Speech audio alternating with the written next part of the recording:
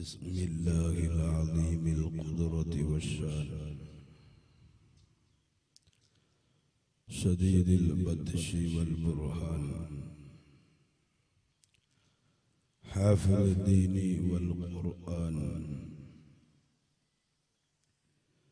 بسم الله ما شاء الله كان بسم الله ما شاء الله كان. بسم الله ما شاء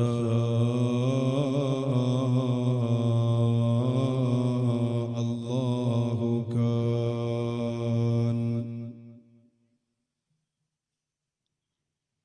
وما لم يشأ لم يكن لا حول ولا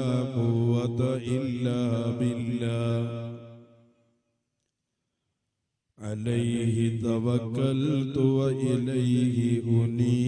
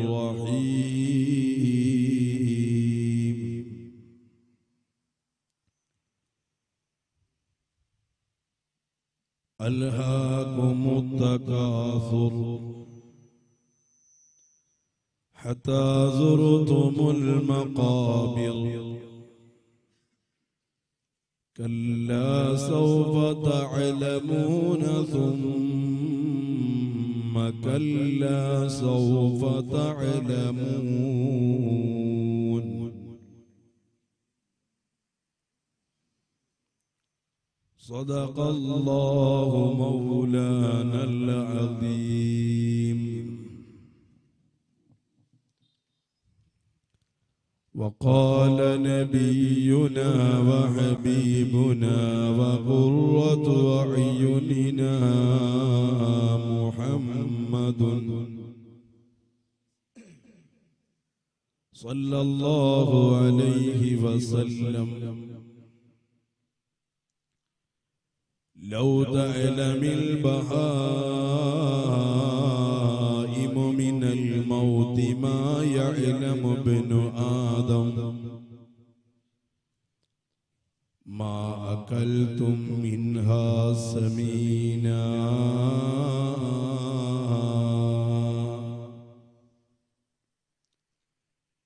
أو كما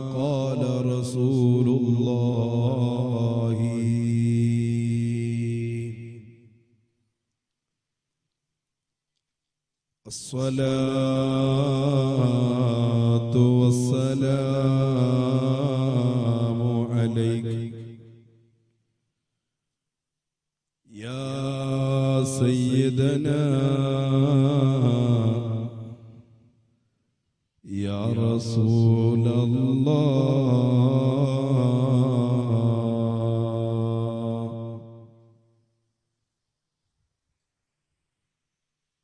خذ بأيدينا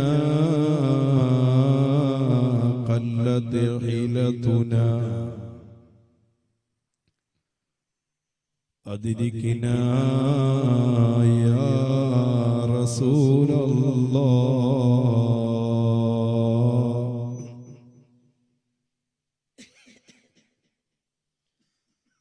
الصلاة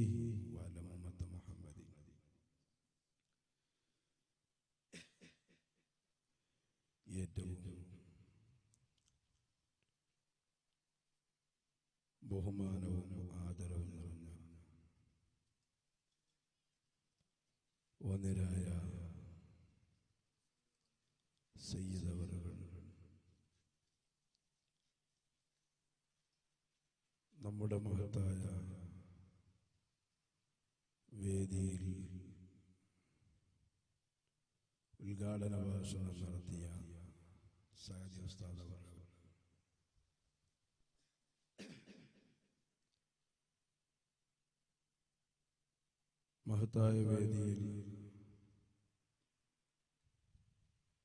നമുക്ക് വേണ്ടുന്ന ഉപദേശ നിർദ്ദേശങ്ങൾ നൽകിയ ഇദാദി ഉസ്താദുകൾ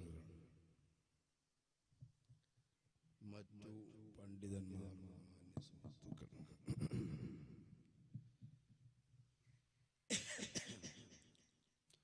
നമ്മുടെ നാട്ടിലെ ഒരു പറ്റം യുവാക്കൾ നടത്തി വരുന്ന സ്വലാത്ത് മജ്ലിസിന്റെ നാലാം വാർഷികത്തിലാണ് നമ്മൾ അള്ളാഹു വിജയിപ്പിക്കുമാറാകട്ടെ. ഞാൻ കൂടുതലൊന്നും ആമുഖം നീട്ടിപ്പറത്തി പറയുന്നില്ല.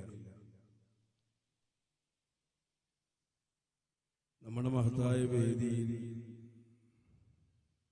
ഒരുപാട് ആളുകൾ കുറച്ച് ഡിലേ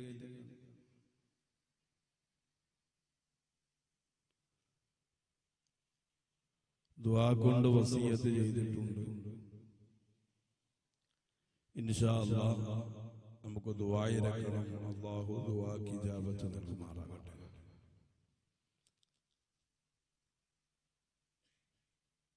നിങ്ങൾക്ക് ബുദ്ധിമുട്ടിണ്ടായെങ്കിൽ ബാക്കിലിരിക്കുന്ന ആളുകൾ നമ്മുടെ മുന്നിലെ സീറ്റിലേക്ക് കയറിയിരുന്നാൽ അത് നമ്മുടെ മഹത്തായ വേദിക്ക് ഒരു ഭംഗിയായി. സൈഡൊക്കെ തിരക്കുകളില്ല കുറെ ലൈറ്റ് കുറെ പച്ചക്കൂടി അതൊക്കെ ഓക്കെ. സദസ്സിൽ മുമ്പിലെ സീറ്റ് കാലിയായി കുറെ ബേക്കിൽ കുറെ ആളുകളായിട്ട് റാഹത്തിട്ടില്ല ഇൻഷാ അല്ലാഹ്.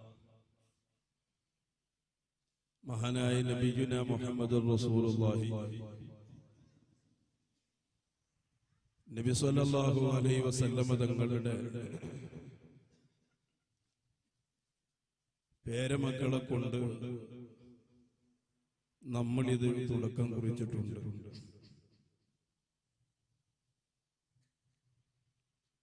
ലിക്കുല്ലി ഷൈഇൻ അസാസ് وأساس الإسلام حب أهل بيته أو كما قال رسول الله വിധങ്ങൾ പറഞ്ഞു ഏതൊരു വസ്തുവിനും ഒരു അടിസ്ഥാനം അടിത്തറയും പരിശുദ്ധ ദീനിൽ ഇസ്ലാമിന്റെ അടിസ്ഥാനവും അടിത്തറയും ഹുബ്ബു അഖില ബൈത്തി എന്റെ അഖിലുബൈത്തിനോടുള്ള തങ്ങന്മാരോടുള്ള സ്നേഹമാണ്. അത് പരിശുദ്ധ ഇസ്ലാമിന്റെ അടിസ്ഥാനവും അടിത്തറയുമാണെന്ന് നബിയുന മുഹമ്മദ് അലൈഹി വസല്ലമ തങ്ങൾ പഠിപ്പിച്ചിട്ടുണ്ട്. ആയതുകൊണ്ട് തന്നെയാണ് നമ്മൾ ഏതൊരു മജ്ലിസ് സംഘടിപ്പിക്കുകയാണ് ഒന്നിരിക്കല്ലാതെ തുടങ്ങിത്തരാൻ ഒരു തങ്ങൾ. അല്ലെങ്കിൽ അവസാനിപ്പിക്കാൻ ഒരു തങ്ങൾ. സയ്യിദുമാരുടെ പൊരുത്തമില്ലാതെ അഖിലുസുന്നത്തി വൽ ജമാഅത്തിന്റെ പ്രവർത്തകന്മാർക്ക് ഒരു പദ്ധതിയും മുന്നോട്ട് വെക്കാൻ കഴിയുകയില്ല. ലോകത്തിന്റെ തിരുദൂതർ നബിയുന മുഹമ്മദ് മുസ്തഫ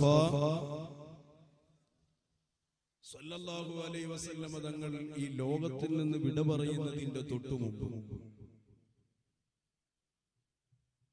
സ്വഹാബത്തുകളെല്ലാം ഒരുമിച്ച് കൂട്ടിയിട്ട് നബിതങ്ങൾ പറഞ്ഞു സ്വഹാബ ഞാൻ നിങ്ങളൊക്കെ മനുഷ്യരായതുപോലെ ഞാനും ഒരു മനുഷ്യൻ തന്നെയാണ്. നിങ്ങളെ പോലോത്ത മനുഷ്യനല്ല.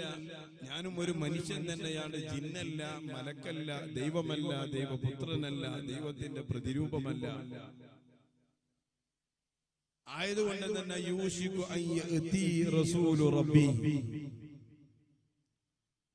ഇന്നല്ലെങ്കിൽ നാളെ എന്റെ അടുക്കലേക്ക് അള്ളാഹു താലയുടെ ഒരു ദൂതൻ വരാനുണ്ട്. അത് മഹാനായ മലക്ക് അസ്റായീൽ അലൈഹിസ്സലാത്തു വസ്സലാമിനെ സൂചിപ്പിച്ചുകൊണ്ട് റസൂലുള്ള പറഞ്ഞു എന്റെ അടുക്കൽ ഒരു ദൂതൻ വരും. ആ ദൂതനാകുന്ന അസറായിൽ എന്നെ വിളിച്ചാൽ എനിക്ക് പോവാതെ നിവർത്തിയില്ല. ഞാൻ പോവുക തന്നെ ചെയ്യും. ഞാൻ ഈ ലോകത്തിൽ നിന്ന് വിട പറയുമ്പോൾ ഞാൻ നിങ്ങളെ ഒറ്റക്കാക്കി പോയി എന്നൊരു വിഷമൊന്നും നിങ്ങൾ കരുതണ്ട. തറക്തും. എടുത്താൽ പൊങ്ങാത്ത രണ്ട് ഭാരം ഞാൻ നിങ്ങൾക്ക് നൽകിയിട്ടാണ് പോകുന്നത്. ആ രണ്ട് ഭാരത്തെയും നിങ്ങൾ മുറുകെ പിടിക്കണം. മഹാനായ അഷ്റഫുൽ മുഹമ്മദ് നിബിതങ്ങൾ പറഞ്ഞു ഒന്ന് കിതാബുല്ലാഹി ഒന്ന് അള്ളാഹുവിന്റെ പരിശുദ്ധ ഖുർആൻ. പരിശുദ്ധ ഖുർആനാണ് നിങ്ങൾ മുറുകെ പിടിക്കേണ്ടത്. എന്ന് റസൂലായി തങ്ങൾ പറയുന്ന നേരം നിബിതങ്ങളെ മുമ്പിൽ ഒരറ്റ ഖുർആാനിന്റെ കോപ്പിയും ഉണ്ടായിരുന്നില്ല. ഖുർആൻ എവിടെയും ക്രോഡീകരിക്കപ്പെട്ടിരുന്നില്ല. പിന്നെ നബി സല്ലല്ലാഹു അലൈഹി വസല്ലമ തങ്ങൾ പറഞ്ഞ പരിശുദ്ധമായ ഖുർആനിന്റെ ആ ഒരു ആശയമാണ് എന്ന് നബി തങ്ങൾ പറഞ്ഞതിന്റെ സതുദ്ദേശം ഖുർആനിനെ മനപ്പാടമാക്കിയ മഹാന്മാരായ സ്വഹാബികളെ ഞാൻ നിങ്ങൾക്ക് നൽകിയിട്ടാണ് പോകുന്നത്. മുസ്തഫ. മംഗലാപുരത്തിനെ സംബന്ധിച്ചിടത്തോളം ഞാൻ എന്റെ വയൽ തുടങ്ങിയത് മുതൽ. മംഗലാപുരത്തവരോട് സ്വലാത്ത് ചൊല്ലു എന്ന് പറയേണ്ട ഒരു ഗതി ഇതുവരെ ഉണ്ടായിട്ടില്ല. ഇവിടെ അങ്ങനെ തന്നെയാണ്. അള്ളാഹു തല നിലനിർത്തി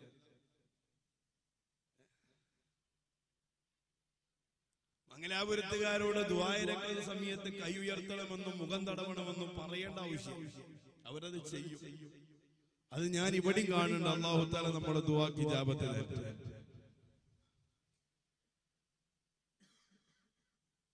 പരീക്ഷ ആയവനെ എന്നാ പരീക്ഷല്ലേ എന്നാ? മാർച്ചിൽ മാർച്ചിൽ എത്ര വയലുണ്ട് പരീക്ഷ മാർച്ചിന് പെർമിറ്റ് ഇല്ല.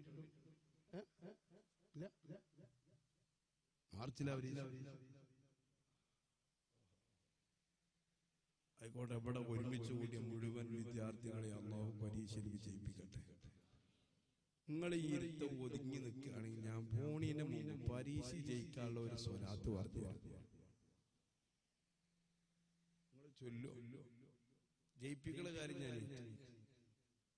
നിങ്ങളെ ചൊല്ലി തന്നാ ഓക്കെ അല്ലേ ഒരു ചെറിയ നിബന്ധന കൂടി നല്ലോ പഠിക്കും പഠിക്കാതെ വെറും സ്വലാത്ത് സ്വലാത്ത് എഴുതി വെച്ച് വരരുത് അപ്പൊ അത് ഇൻഷാല്ല ഞാൻ പോണീന് മുമ്പ് നമ്മളെ കുട്ടിയെ ഇവിടെ പ്രവർത്തകരെ കയ്യിലോ ഉസ്താദിന്റെ കയ്യിലോ ഞാൻ എഴുതി കൊടുക്കും.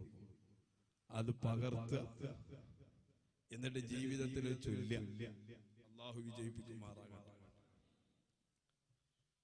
അതേമാതിരി അവിടെ കുറെ കുട്ടികളെ മുട്ടായി കച്ചവടമൊക്കെ നടത്തിക്കോളി പക്ഷെ അവിടെ ഇരുന്നാണ്ട് തിന്നണം നിലപ്പടെ വന്ന് തിന്നോളൂ. എന്നാ പിന്നെ നമുക്ക് പൊതി വിടാൻ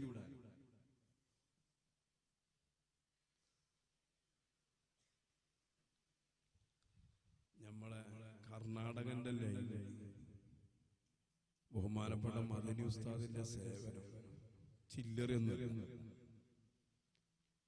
ഏത് അണ്ടിയിൽ വായന വായന മൂപ്പര് കാണുക ഇതിന് ശമ്പളം കിട്ടുന്നുണ്ടോ ഇല്ലേന്ന് എനിക്കറിയില്ല. ഏതായാലും എത്ര ശമ്പളം കൊടുത്താലും മതിയാവൂല. നമ്മൾ ഈ കണ്ട സജ്ജീകരണങ്ങൾ റുപ്യാക്കും അല്ല എന്നാ ഈ കണ്ട ചെലവും കാര്യങ്ങളൊക്കെ നമ്മൾ നടത്തിയാലും ഇവിടെ ഇരിക്കുന്നതിന്റെ നൂറിരട്ടി ആളുകൾ ഓൺലൈനിലൂടെ കേൾക്കുന്നുണ്ട്. അള്ളാഹുദാല അദ്ദേഹത്തിന്റെ സേവനം ഒരുപാട് കാലം നമുക്ക് നിലനിർത്തി തരട്ടെ. മൂപ്പർക്കും നമുക്കൊക്കെ അള്ളാഹു പൂർണ ആഫിയത്ത് നൽകുമാറാകട്ടെ. അതുപോലെ നമ്മുടെ ഓൺലൈനിലൂടെ വായത് കേൾക്കുകയും ദുവാകാമ്യം പറയുകയും ചെയ്യുന്ന മുഴുവനും പ്രവാസി സുഹൃത്തുക്കളും പടച്ചറപ്പേനി ഹൈറ് നൽകണം മഹാനായ ഹബീബുന മുഹമ്മദ് റസൂലുള്ളാഹി.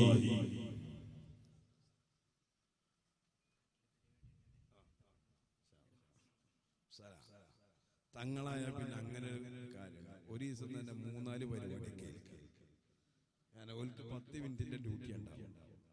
ഇത് കഴിഞ്ഞിട്ട് ഞങ്ങൾക്ക് വേറെ പരിപാടി.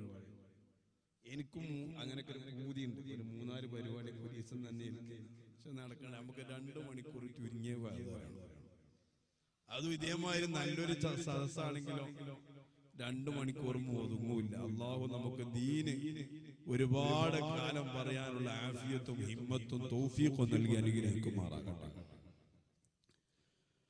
മഹാനായ നബിയുന മുഹമ്മദ് റസൂലുള്ളാഹി സല്ലല്ലാഹു അലൈഹി വസല്ലമ തങ്ങളെ സ്വഹാബികളോട് പറയുന്ന സ്വഹാബ എന്റെ അടുക്കൽ ബഹുമാനപ്പെട്ട അസറായില് വന്നാൽ ഞാൻ നിങ്ങളെയും വിട്ടിവിടെ നിന്ന് യാത്ര പോകും വന്നു കഴിഞ്ഞാ പോവാതിരിക്കാൻ നിവർത്തിയില്ല وإنك ميت وإنهم ميتون മരിക്കേണ്ടവരാണ്. നിങ്ങൾ മാത്രമല്ല നിങ്ങളുടെ സമുദായവും മരിക്കേണ്ടവരാണ്. എന്നോട് കൽപ്പിച്ചതല്ലയോ? അതുകൊണ്ട് തന്നെ അസറായിൽ വന്നാൽ ഞാൻ അസറായിലിന്റെ പിന്നാലെ പോകും. പക്ഷേ ഞാൻ പോകുമ്പോ നിങ്ങളെ ഒറ്റക്കാക്കി എന്ന് നിങ്ങൾ വിചാരിക്കേണ്ടതില്ല. തറക്തു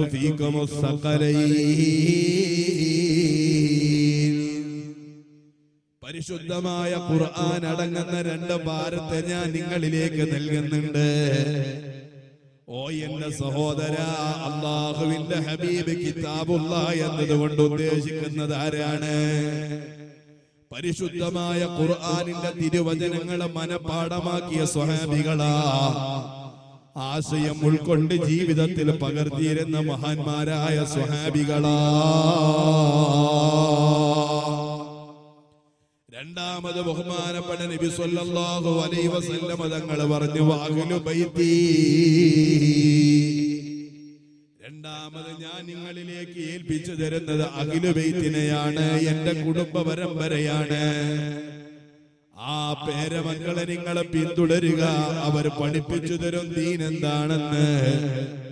മഹാനായ ലോകത്തിന്റെ തിരുദൂതർ നബിയുന റസൂലുള്ളാഹ്. ജീവികാലത്തെ നന്മ മാത്രം റസൂലുള്ളയിൽ നിന്ന് നമ്മൾ കണ്ടിട്ടുള്ളൂ. പക്ഷേ മരണാന്തര ജീവിതത്തെ കുറിച്ച് ആലോചിച്ചുകൊണ്ട് റസൂലുള്ളാഹി തങ്ങൾ പറയുന്നു ഞാൻ ഇവിടെ നിന്ന് യാത്ര പോയാലും എന്റെ കാര്യങ്ങൾ നടത്തി വെക്കാൻ. ഞാൻ പഠിപ്പിച്ച കാര്യങ്ങളും ആശയങ്ങളും നിങ്ങളിലേക്ക് പഠിപ്പിച്ചു തരാൻ. രണ്ട് വിഭാഗം ആളുകളെ ഞാൻ എടുത്തു തരുന്നുണ്ട്. ഒന്ന് മഹാന്മാരായ സ്വഹാബികളാണ് കേട്ടോ.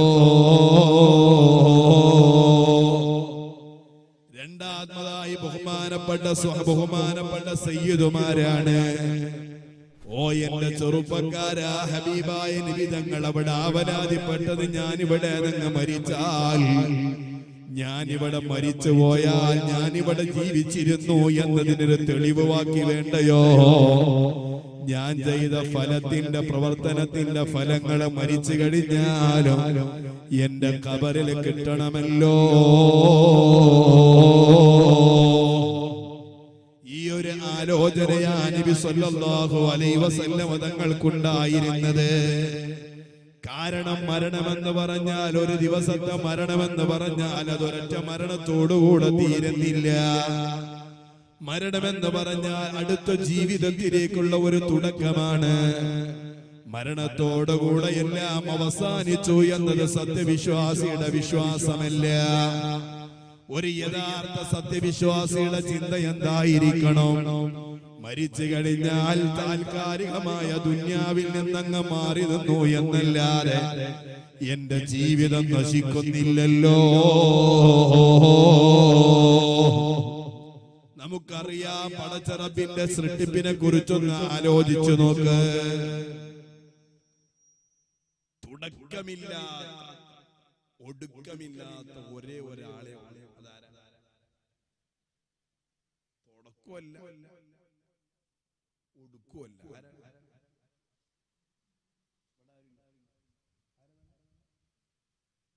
എന്താ?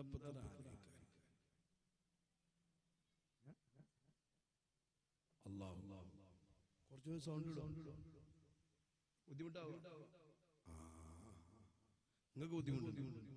അവിടെ ക്ലിയർ അല്ലേ? ജീവിതത്തിന് തുടക്കവുമില്ല ഒടുക്കവുമില്ല. ഇങ്ങനത്തെ ഒരാൾ മാത്രമേ ഉള്ളൂ അത് അള്ളാഹു താലയാണ് എന്നാൽ തുടക്കമുണ്ട് ഒടുക്കമില്ല. തുടക്കമുണ്ട് ജനനത്തിന്. പക്ഷെ പിന്നീട് അത് നശിച്ചു പോകൂല. അങ്ങനത്തെ ഒരു വസ്തു കൂടെ ഉണ്ട്. അതെന്താ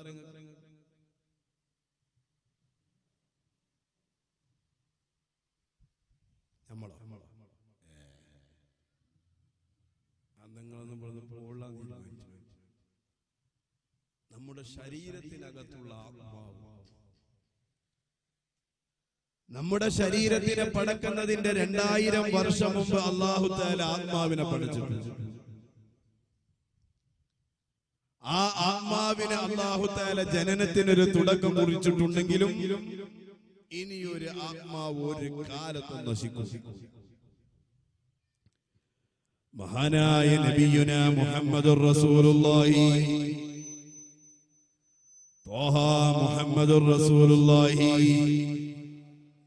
സ്വല്ലല്ലാഹു അലൈഹി വസല്ലം തങ്ങളെ പഠിപ്പിച്ചതല്ലയോ?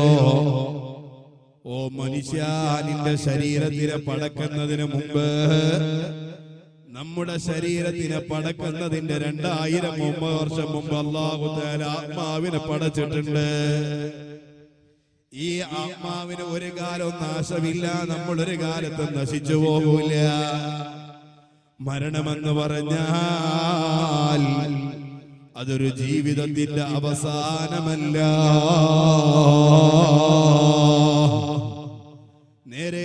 ഇന്ത്യക്കാരും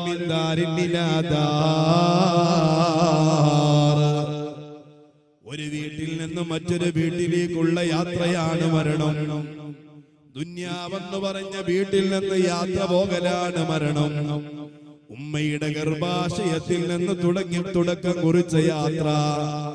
ആ യാത്ര ദുന്യാവിലെത്തിപ്പെട്ടിട്ടുണ്ട് തുച്ഛമായ ദിവസം കഴിഞ്ഞാൽ ഈ ദുന്യാവിൽ നിന്നും നമ്മൾ യാത്ര പോകുന്നുണ്ട്. ആ യാത്രയാണ് മരണമെന്ന് പറയുന്നത് അള്ളാഹുവേ.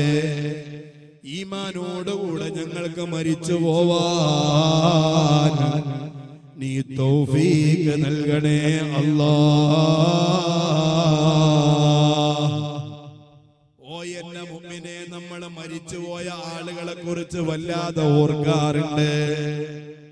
മരിച്ച ഉമ്മായെ കുറിച്ച് പലതവണ നമ്മൾ ആലോചിച്ച് കണ്ണീരൊഴുകിയിട്ടുണ്ട്. മരിച്ചുപോയ ഉപ്പാനെ കുറിച്ച് ആലോചിച്ച് നമ്മൾ സങ്കടപ്പെടാറുണ്ട്. എന്നാൽ നമ്മളുടെ മരണത്തെ കുറിച്ച് നമ്മൾ ആലോചിക്കുന്നില്ലല്ലോ. മരിക്കുന്ന എന്റെ ഘട്ടം എങ്ങനെയായിരിക്കുമെന്ന് നമ്മൾ വിചാരിക്കുന്നില്ലല്ലോ. എന്റെ മരണം എവിടെയായിരിക്കും? ഞാൻ എങ്ങനെ മരിക്കും. അപകടത്തിലാണോ? രോഗം പിടിപെട്ടുകൊണ്ടാണോ ഞാൻ മരിക്കുന്നത് എന്ന സത്യവിശ്വാസികളായ നമുക്ക് ആലോചനയില്ലല്ലോ. മഹാനായ അഷ്റഫുൽ ഹൽക്ക് നബിയുന മുഹമ്മദുർ റസൂലുള്ളാഹ്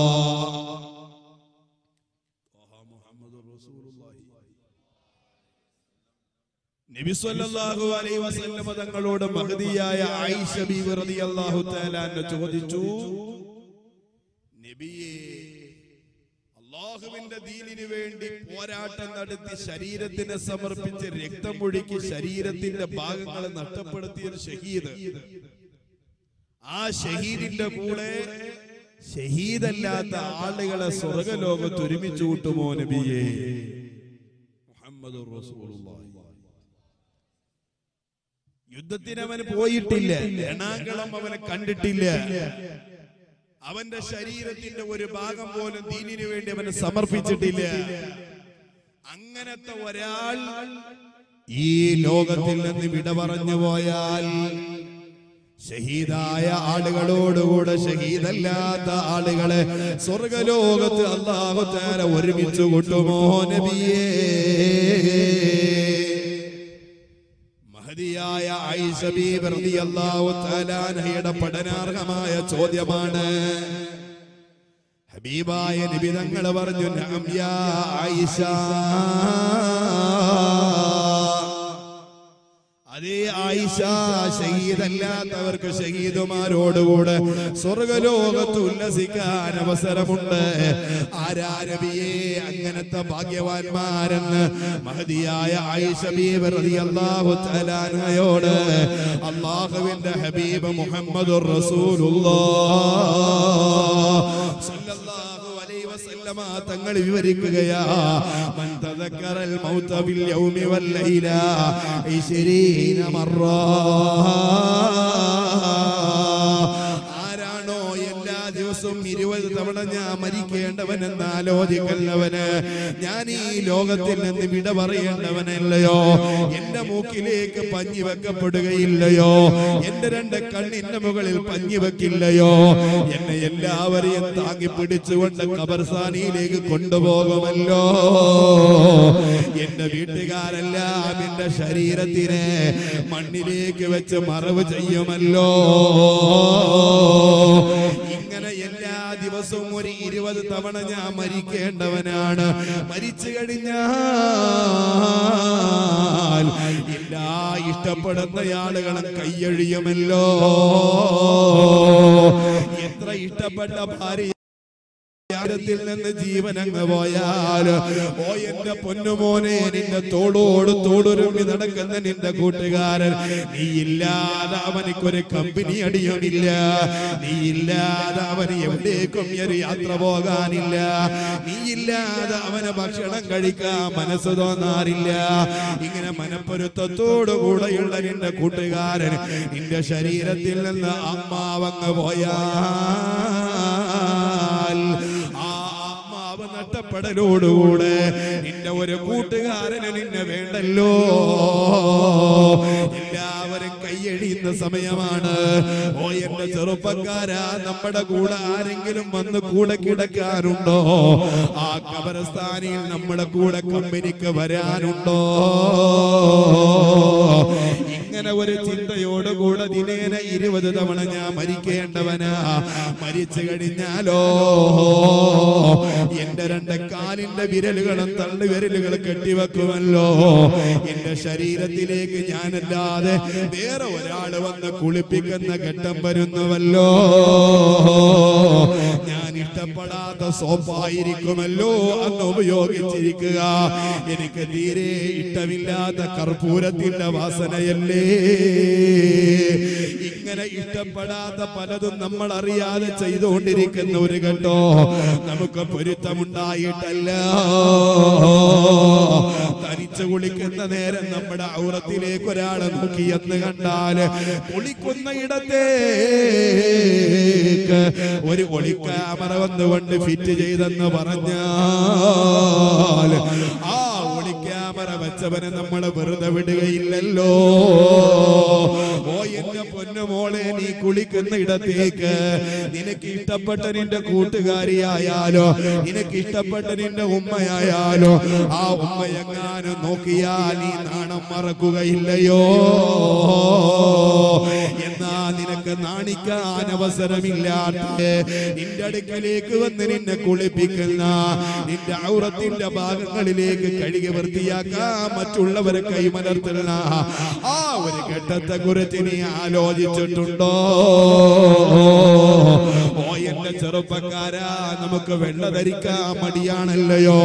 ഇഷ്ടപ്പെടാത്ത വസ്ത്രമല്ലയോ? മയ്യത്തിന്റെ തുണിയാരാ പോലീസറിന്റെ തുണിയാരും ഉപയോഗിക്കാറില്ല. ആരും ജീൻസിന്റെ ഷർട്ട് ഉപയോഗിക്കാറില്ല. നേരെ മറിച്ച് നമുക്ക് ആർക്കും ഇഷ്ടമില്ലാത്ത ആ ഒരു കോട്ടൺ മുണ്ട് കൊണ്ട് നമ്മുടെ ശരീരത്തിൽ പൊതിയുന്ന നേരമുണ്ടല്ലോ. ആ നേരം നമ്മൾ ആലോചിക്കുന്നുവോ ദിനേന ഇരുപത് തവണ.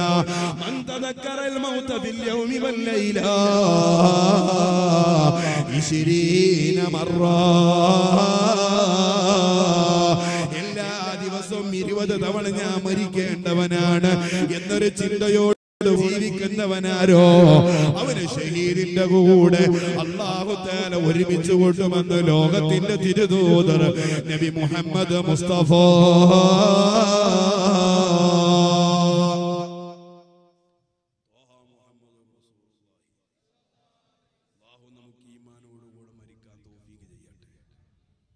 എന്നാൽ മരിക്കുന്ന ആളുകൾക്ക് ഏറ്റവും പ്രയാസമുള്ള ഘട്ടമേതെന്നറിയോ മരിക്കുന്ന ആളുകൾക്ക് ഏറ്റവും വേദനയുള്ള ഘട്ടമെന്തെന്നറിയോ?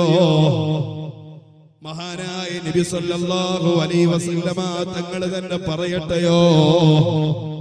നബി തങ്ങൾ പറയുന്നു ആരാ മരിക്കുന്ന നേരെ ഏറ്റവും വേദനിക്കുന്ന ഘട്ടമേതാണ്?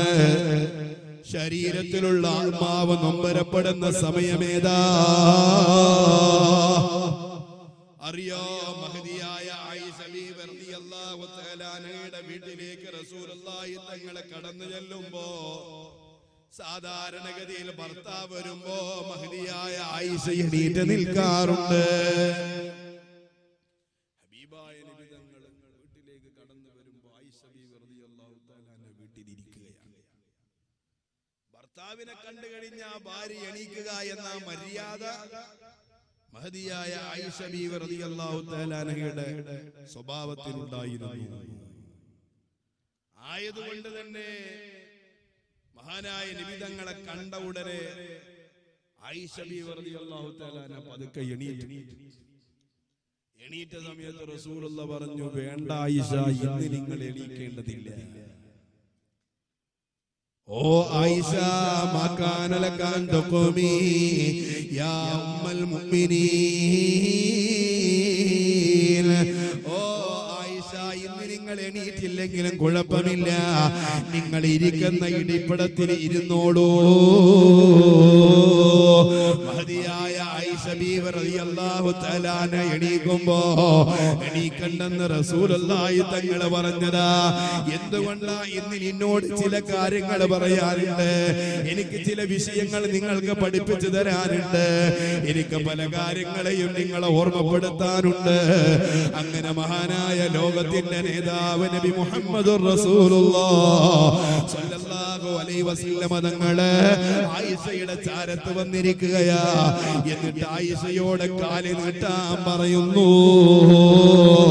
ആയിഷ ബീവി റളിയല്ലാഹു തആല അൻഹ കാൽ നീട്ടുമ്പോ ആയിഷയുടെ മടിയിലേക്ക് തല വെച്ചുകൊണ്ട് മഹാനായ ലോകത്തിന്റെ നേതാവ് നബി മുഹമ്മദ്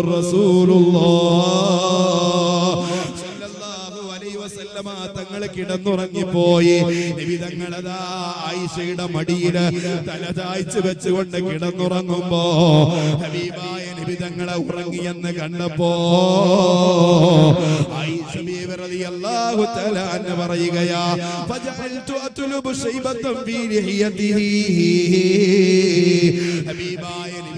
താടി രോമത്തിൽ നിന്ന് വല്ലതും നിറച്ചിട്ടുണ്ടോ നബി തങ്ങളെ ശരീരത്തിൽ വല്ല നിറയും ബാധിച്ചിട്ടുണ്ടോ?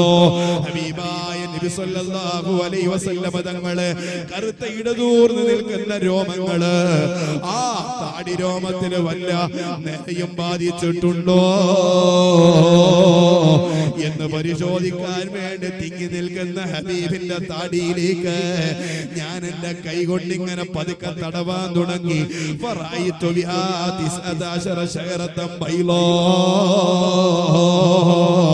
ആ സമയത്ത് നിബിതങ്ങളെ താടിയിലെ പത്തൊമ്പത് രോമം ഞാനാ റസൂലുള്ളാന്റെ താടിക്കകത്ത് പത്തൊമ്പത് രോമങ്ങൾ വെളുത്തതായിട്ട് കണ്ടോ.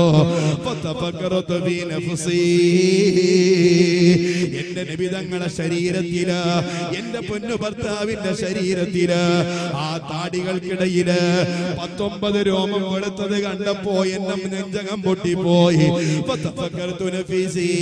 മഹദിയായ ആയിഷ പറയുന്നു ഞാൻ വല്ലാതെ ആലോചിച്ചു പോയി ഫഖുൽതു ഇന്നഹു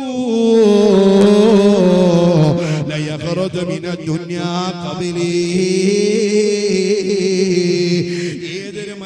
ശരീരത്തിലെ രോമങ്ങൾ വെളുത്തു പോയാൽ ഓ എന്റെ ഉപ്പ ശരീരത്തിലുള്ള രോമം വെളുത്തു പോയാൽ ഓ എന്റെ ഉമ്മ നിങ്ങളെ തലയുടെ രോമം വെളുത്തു പോയാൽ അത് മരണത്തിലേക്കുള്ള സൂചനയല്ലയോ?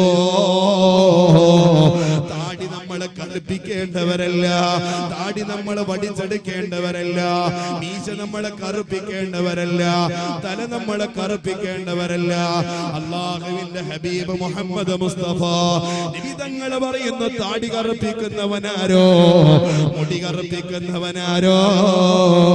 അള്ളാഹുവിന്റെ ശാപം അവനിക്ക് ഉണ്ട് കേട്ടോ. ആരെ പറ്റിക്കാനാ താടി കറുപ്പിച്ചത്? ആരെ പറ്റിക്കാനാ നമ്മളെ തലമുടി കറുപ്പിച്ചത്? നിങ്ങൾക്ക് വേണമെങ്കിൽ മൈലാഞ്ചി ഇട്ടോ? മൈലാഞ്ചിയുടെ നിങ്ങൾക്ക് സുന്നത്താണ്. ആ സ്ഥാനത്ത് കറുത്ത മഷി കൊണ്ടോ കറുത്ത പെയിന്റ് കൊണ്ടോ തലമുടി കറുപ്പിക്കാൻ പാടില്ല. മീശ കറുപ്പിക്കാൻ പാടില്ല. താടി കറുപ്പിക്കാൻ പാടില്ല. ലോകത്തിന്റെ നേതാവ് നബി മുഹമ്മദ് റസൂലുള്ളാഹി.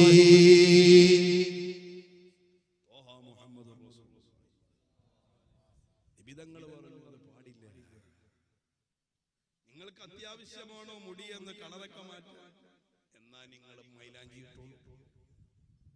മൈലാഞ്ചിയുടെ സുന്നത്താണ്. പ്രോത്സാഹിപ്പിച്ച കാര്യമാണ് അത് നമുക്ക് ചെയ്യാം.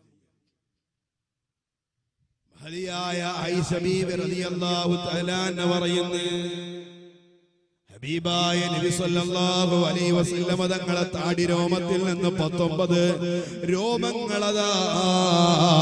അതേ ആ പത്തൊമ്പത് രോമങ്ങൾ വെളുത്തൽ നിരയോടുകൂടെ ഞാൻ കണ്ടപ്പോ മരണത്തിലേക്കുള്ള സൂചനയല്ലയോ ഇത്? എന്നേക്കാൾ പ്രായം നിവിധങ്ങൾക്ക് വന്നിട്ടുണ്ടല്ലോ. എന്ന് വിചാരിച്ച ബീവി റളിയല്ലാഹു തആല അങ്ങനെ കരുതി പോയി മിന ഇന്നഹു ലയഖറുജു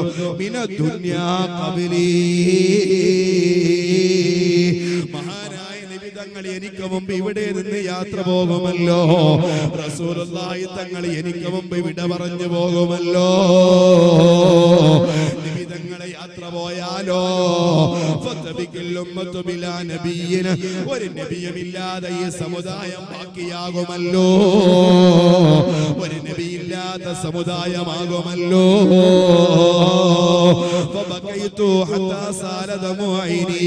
ഞാൻ അറിയാതെ കരഞ്ഞുപോയി. ഞാൻ അറിയാതെ കരഞ്ഞുപോയി എന്റെ കണ്ണിൽ നിന്ന് കണ്ണുനീര് ധാരധാരയായി ഒഴുകാൻ തുടങ്ങി.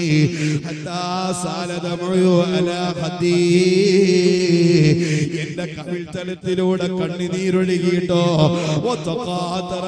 അലാ വജീഹി സല്ലല്ലാഹു അലൈഹി വസല്ലം മുഹമ്മദുർ റസൂലുള്ളാഹി നബി സല്ലല്ലാഹു അലൈഹി വസല്ലം തങ്ങളെ കവിൾത്തടത്തേക്ക് എന്റെ കണ്ണിൽ നിന്ന് ഒരു കണ്ണുനീര് നബി തങ്ങളെ മുഖത്തേക്ക് ഒഴുക്കി. റസൂലുള്ളാഹി തങ്ങൾ എന്റെ മടിയിൽ കിടക്കുക. അപ്പോഴാ റസൂലുള്ളാന്റെ വഫാത്തും ഈ സമുദായത്തിന്റെ ഗതികേടും വിവിധങ്ങളില്ലാത്ത ജീവിതവും ഒക്കെ ഇങ്ങനെ ആലോചിച്ചപ്പോൾ ഞാൻ അറിയാതെ കണ്ണീരൊഴിയൊഴി എന്റെ ഒരിറ്റ് കണ്ണുനീര് ഹബീബായ നിബിതങ്ങളെ കവിൾത്തടത്തേക്ക് കുറ്റി. ആ സമയത്ത് ഹബീബായ നിബിതങ്ങളെ ഉറക്കിൽ നിന്ന് എഴുന്നേൽക്കുകയാ നിബിതങ്ങൾ ഉറക്കിൽ നിന്ന് എണീറ്റുകൊണ്ട് എന്നോട് ചോദിച്ചു അബക്കാക്കിയ ഉമ്മൽ ഓ എന്റെ ആയിഷോ നിങ്ങൾ എന്തിനാ ആയിഷോ കരയുന്നത്? എന്തേ നിങ്ങളെ കരയാനുള്ള കാരണമെന്ന്? മഹതിയായ ആയിഷ ബീവി റളിയല്ലാഹു മഹാനായ അഷ്റഫുൽ ഖൽഖ് നബി മുഹമ്മദുർ റസൂലുള്ളാഹ്. കരഞ്ഞപ്പോ നബി പറ്റിയില്ലല്ലോ. എന്റെ ഭാര്യക്ക് എന്താ പറ്റിയത്? എന്തിനാണ് ആയിഷോ നിങ്ങളെ കരയുന്നതെന്ന് ചോദിക്കുമ്പോ മഹാനായ നബി തങ്ങളോട് വിശദീകരിച്ചോ? അങ്ങയുടെ നിരച്ച മുടി കണ്ടപ്പോ അങ്ങയുടെ മരണത്തെ കുറിച്ച് ആലോചിച്ചപ്പോ ഞങ്ങൾക്ക് മുമ്പ് യാത്ര പോകുമെന്ന് വിചാരിച്ചപ്പോ നബിയെ അറിയാതെ കണ്ണിനീരൊഴുകിയതാ. അല്ലാതെ ഒന്നും ഇവിടെ ഉണ്ടായിട്ടില്ല നബിയേ. മഹതിയായ ഹബീബായ നബി തങ്ങളോട് വിശദീകരിച്ചു കൊടുക്കുമ്പോ ചോദിച്ചു അയ്യുഹാനിൽ അഷദ്ദു അലൽ മയ്യതിയ ആയിഷ? ഒരു മയ്യത്തിനെ ഏറ്റവും കാഠിന്യമുള്ള വിഷയം ഏതാണ്? വിഷമകരമായ അവസ്ഥ ഏതാണ്? അയ്യോ ഹാലത്തിന് അശത്തു അലൽ മയ്യത്തിന് ഏറ്റവും വിഷമമുള്ള ഘട്ടം ഏതാണ്? മഹാനായ ഹബീബ് മുഹമ്മദ് നിമിതങ്ങളെ ആയിഷയോട് ചോദിക്കുന്ന നേരോ ആയിഷ പറഞ്ഞു കുല്യാ റസൂലല്ലോ നിങ്ങൾ തന്നെ പറയൂ നബിയെ എനിക്കറിയൂല മതിയായ ആയിഷ ബീവി റളിയല്ലാഹു തആല അൻഹയോട് റസൂലുള്ളാഹി ചോദിച്ചു, ഒരു മയ്യത്തിന് ഏറ്റവും പ്രയാസമുള്ള അവസ്ഥ എപ്പോഴാണ് ഏറ്റവും കൂടുതൽ മാനസികമായി വിഷമിക്കുന്ന ഘട്ടം എപ്പോഴാണ് മുഹമ്മദുർ റസൂലുള്ളാഹി നിബിതങ്ങൾ ആയിഷയോട് ചോദിച്ചപ്പോൾ ആയിഷ പറഞ്ഞു. എനിക്ക് പറയാൻ കഴിയൂല നബിയെ നിങ്ങൾ പറഞ്ഞു തന്നോളൂ മഹാനായ നിബിതങ്ങൾ പറഞ്ഞു "ബൽ ഖുലി അൻതി." ഇല്ല ആയിഷ ഇത് നിങ്ങളെങ്ങനെ പറഞ്ഞേരേ നിങ്ങളൊന്ന് പറഞ്ഞുകൊണ്ട് ആയിഷ ഞാനൊന്ന് കേൾക്കട്ടെയോ ആ സമയത്ത് മഹതിയായ ആയിഷയുടെ മറുപടി എന്തെന്നറിയോ ഓ എന്റെ ചെറുപ്പക്കാരാ കൂടെയുണ്ടോ ഞാൻ പറയുന്നത് കേൾക്കുന്നുണ്ടോ ഓ എന്റെ ഉമ്മ പറയുന്നത് ശ്രദ്ധിക്കുന്നുണ്ടോ لا تكون حالة أشد على الميت لا تكون حالة أشد على الميت من وقت خروجه من داره يحزن أولاده أو أحباؤه മരിച്ചു കഴിഞ്ഞാൽ അവന്റെ വീട്ടിൽ നിന്ന് എല്ലാവരും കെട്ടി കെട്ടിപ്പൊതിഞ്ഞ് മയ്യത്ത് കട്ടിലേക്ക് കൊണ്ടുപോയി. ആ മയ്യത്ത് കട്ടിലിൽ വെച്ചുകൊണ്ട് യാത്ര പോകുമ്പോ വീട് വിട്ടിറങ്ങുമ്പോ അവന്റെ ഉമ്മ കരയുന്നത് നമ്മൾ കാണുന്നില്ലയോ? മക്കളെ കരയുന്നത് കാണുന്നില്ലയോ? കുടുംബം ഇങ്ങിപ്പെട്ടുന്നത് കാണുന്നില്ലയോ?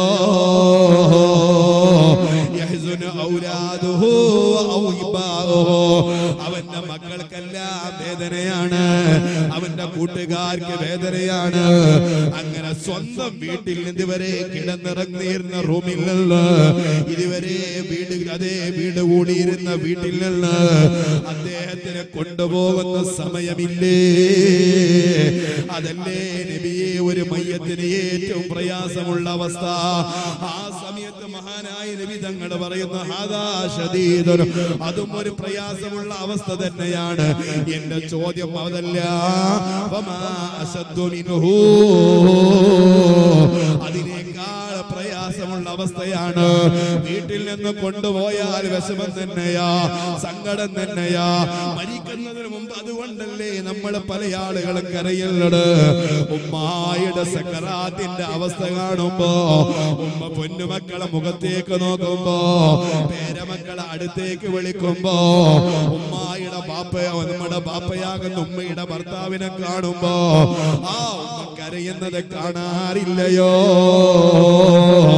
എന്ന പോലെ നമ്മളാ യാത്ര പോകുന്നതെങ്കിൽ എന്നെ പെറ്റു വളർത്തിയ ഉമ്മ എന്റെ ജീവിതത്തിൽ ഞാൻ ഇതുവരെ സ്നേഹിച്ചിട്ടുണ്ട്. ഇനി ആ സ്നേഹമുള്ള ഉമ്മയെ കാണാൻ കഴിയില്ലല്ലോ. ഉമ്മയുടെ സ്പർശനം ഏൽക്കാൻ കഴിയില്ലല്ലോ.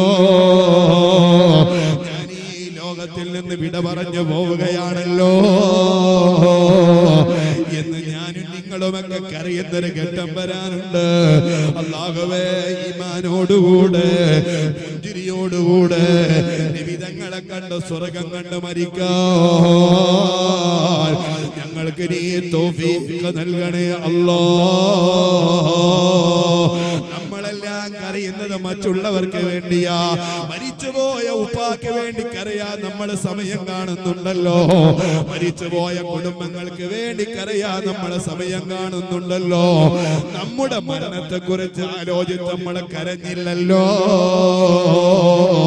മഹാനായ അബ്ദുല്ലാഹിബിന് മുബാരക് തങ്ങൾ അറിയോ നിങ്ങൾക്ക്? ഞാനൊന്ന് സൂചിപ്പിക്കട്ടെയോ അബ്ദുല്ലാഹിബിന് മുബാരക് തങ്ങൾ അവിടുത്തെ ജീവിതത്തിൽ അദ്ദേഹം ചിരിക്കാറില്ല. കരയിൽ അമിതമാക്കിയ ആളാണ്. എപ്പോഴും കരയുന്ന ശൈലിയാ അബ്ദുല്ലാഹിബിന് മുബാരക് തങ്ങൾക്കുള്ളത്. ആ കരഞ്ഞുകൊണ്ടിരിക്കുന്ന അബ്ദുല്ലാഹിബിന് മുബാരക് തങ്ങൾ അദ്ദേഹത്തിന്റെ നാട്ടിലൂടെ നടന്നു പോകുമ്പോ മരിച്ചുപോയ ഉപ്പാന മയ്യത്തരികത്തിലേക്ക് ചെല്ല് മൂടി വെച്ച ഉപ്പായുടെ മയ്യത്തിലേക്ക് നോക്കിയിട്ട് അവർ മകനതാ പൊട്ടിക്കരയുന്നുണ്ട്. ഉപ്പായുടെ മയ്യത്തിന്റെ ചാരത്ത് വെച്ച് കണ്ണീരൊഴുക്കുമ്പോ അബ്ദുല്ലാഹിബിന് മുബാരക തങ്ങളാ ചെറുപ്പക്കാരനോട് ചോദിച്ചു അല്ല മോനെ നീ എന്തിനാ കരയുന്നത്? ഉടനെ തന്നെ ബഹുമാനപ്പെട്ട അബ്ദുല്ലാഹിബിന് മുബാറക്കിനോട് ആ ചെറുപ്പക്കാരൻ പറഞ്ഞു ഞാൻ എങ്ങനെ കരയാതിരിക്കാനാ. എന്റെ ഉപ്പയുടെ മയ്യത്തല്ലേ ഇവിടെയുള്ളത് എന്റെ ഉപ്പ നാളെ ആഹ്റത്തിൽ ചെന്നാൽ എങ്ങനെയാ? എന്റെ ഉപ്പയുടെ നാളത്തെ അവസ്ഥ എന്താ എങ്ങനെയാ എന്റെ ഉപ്പയുടെ മനരാന്തര ജീവിതം എങ്ങനെയാ? ഇത് ആലോചിച്ച് ഞാൻ കരയുകയാ. മഹാനായ അബ്ദുല്ലാഹിബിന് മുബാറക്ക് ഈ ചെറുപ്പക്കാരൻ പറഞ്ഞു ഉപ്പാന മയ്യത്തും ഉപ്പാന മരണവും ഉപ്പാക്ക് ശേഷമുള്ള ജീവിതവും ഖബറിലുള്ള ജീവിതവും ഇതൊക്കെ ആലോചിച്ചിട്ടാ ഞാൻ കരയുന്നത് മഹാനായ അബ്ദുല്ലാഹി മുബാറക്ക് തങ്ങൾ പറഞ്ഞു വേണ്ട വേണ്ട ലാ തബ്കി അലാ നഫ്സി അബീക നിന്റെ ഉപ്പാക്ക് വേണ്ടി ഇനി നീ കരയേണ്ടതില്ല. നിന്റെ ഉപ്പാക്ക് വേണ്ടിയല്ല നീ കരയേണ്ടത്. വബിക്കി അല നഫ്സിക. നിന്റെ സ്വന്തം ശരീരത്തിന് വേണ്ടി നീ കരയുക. കാരണം ഉപ്പാക്കുള്ള മരണവേദന കഴിഞ്ഞു. ഉപ്പാക്ക് അസറായിനെ കാണുമ്പോഴുള്ള ഭീതി പോയി. ഉപ്പയുടെ മരണശേഷം മരിക്കുന്നത് ഈമാനോടുകൂടെയാ അല്ലാതെയോ എന്നുള്ളത് തീരുമാനമായി. ഇനി നീയാണ് ആലോചിക്കേണ്ടത്. മറ്റുള്ളവർക്കല്ല നമ്മൾ കരയുന്നത്. നമുക്ക് വേണ്ടി കരയണം. അള്ളാഹു താല നമുക്കൊക്കെ നല്ല ബോധം തരട്ടെ. അള്ളാഹു നല്ല ബോധം തരട്ടെ. ഇൻഷാല്ല ഞാൻ വേഗം നിങ്ങളൊക്കെ ക്ഷീണിച്ചിട്ടുണ്ടെന്ന് എനിക്കറിയാം. ഒരുപാട് നേരം ഇവിടെ ഇരിക്കാൻ തുടങ്ങി. എത്ര മണിക്കാ തുടങ്ങി? ഓ.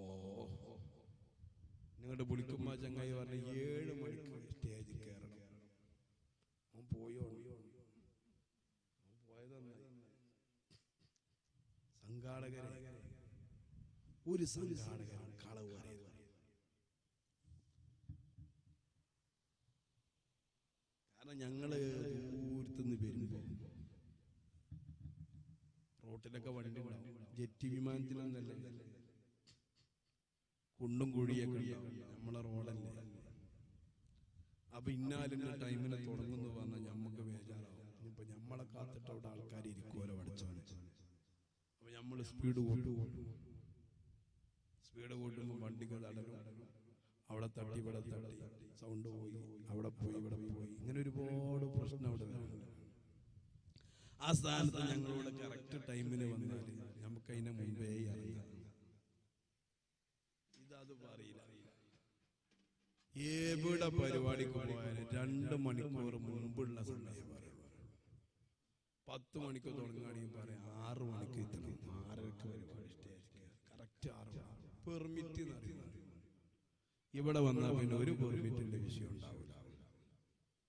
ഏതായാലും ഞാൻ ഇവിടെ എത്തിയാലും ഇനിയിപ്പോ ഒന്നും പറയാൻ പറ്റില്ല. അള്ളാഹു തല നമ്മളെ സൈയൊക്കെ അള്ളാഹു സ്വീകരിക്കുമാറാകട്ടെ ഞാൻ വേറെ മുഹമ്മദ് റസൂലുള്ളാഹി.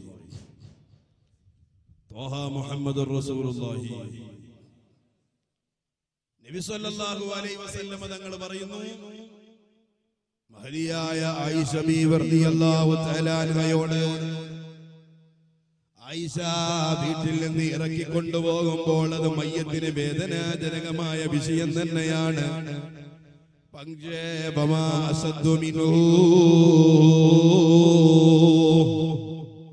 അതിനേക്കാൾ കാഠിന്യമുള്ള അവസ്ഥ ഏതാണ് ഉടനെ തന്നെ മഹതിയായ ആയിഷ പറഞ്ഞു നബിയെ ഒരു മയ്യത്തിന് ഏറ്റവും കാഠിന്യമുള്ള അവസ്ഥ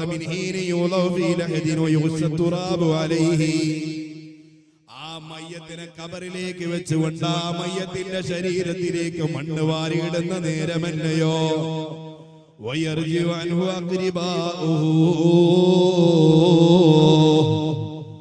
അവന്റെ കുടുംബങ്ങളെല്ലാം മടങ്ങിപ്പോരുന്ന നേരമല്ലയോ? വഔലാദുഹു വഅഹിബ്ബാഉഹു. ആ കബറിലേക്ക് മണ്ണ് വാരിയിട്ട് മക്കൾ തിരിച്ചു പോരുന്ന നേരമല്ലയോ? വയുസല്ലിമോനഹു ഇലല്ലാഹ്. എന്നിട്ട് അവനെ റബ്ബിലേക്ക് ഏൽപ്പിച്ചു കൊണ്ടുവരുന്നൊരു സമയമില്ലയോ? ഇതുവരെ ഉണ്ടായിരുന്ന കുടുംബങ്ങളില്ലാതെ അവൻ ഇഷ്ടപ്പെട്ടവരെല്ലാം ശരീരത്തിലേക്ക് മണ്ണുവാരി എറിഞ്ഞ് എല്ലാവരും മൂടി വെച്ച് പോരുന്നൊരു നേരമില്ലയോ? അതല്ല നബിയേ ഒരു മയ്യത്തിന് ഏറ്റവും വേദന എന്ന് ചോദിക്കുമ്പോ മഹാനായ നബി തങ്ങൾ പറയുന്നു അല്ല അല്ല ഐഷ അതിനേക്കാൾ വലിയൊരു അവസ്ഥ വരാനുണ്ട്. മരിച്ച് വീട്ടിൽ നിന്ന് ഇറങ്ങി പോകുമ്പോഴല്ല പോരാ കബറിലേക്ക് വെച്ചിട്ട് കബറിലുള്ള ആൾ കബറിലേക്ക് വെച്ച് ആ മയ്യത്തിന്റെ ശരീരത്തിലേക്ക് മണ്ണ് വാരിയിടുമ്പോഴല്ല ഓ ഐഷ അതിനേക്കാൾ ഏറ്റവും കൂടുതൽ വേദന എപ്പോഴെന്നറിയോ ഇന്ന ശബ്ദഹാരത്തിനലൽ മയ്യത്തി ഹീന യദ്ഖുലു അലൈഹിൽ ഗാസിലു ഫീ ദാരിഹി ലിയുസിലഹു.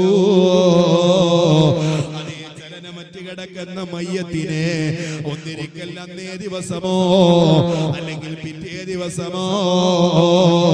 വീട്ടിൽ താൽക്കാലികമായി ഉണ്ടാക്കിയ കുളിമുറിയിലേക്കോ അല്ലെങ്കിൽ അപ്പോഴുള്ള റൂമിലുള്ള വെച്ചുകൊണ്ടുള്ള കുളിമുറിയിലേക്കോ?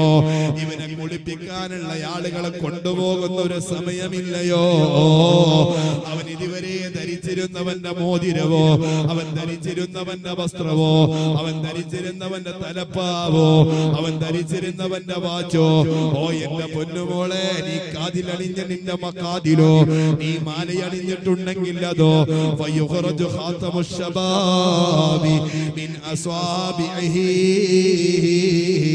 ചെറുപ്പക്കാരാരിന്റെ കയ്യിൽ മോതിരമുണ്ടോ? ആ മോതിരം വരിയെടുക്കുന്ന നേരം വയുൻസൗ ഖമീസുൽ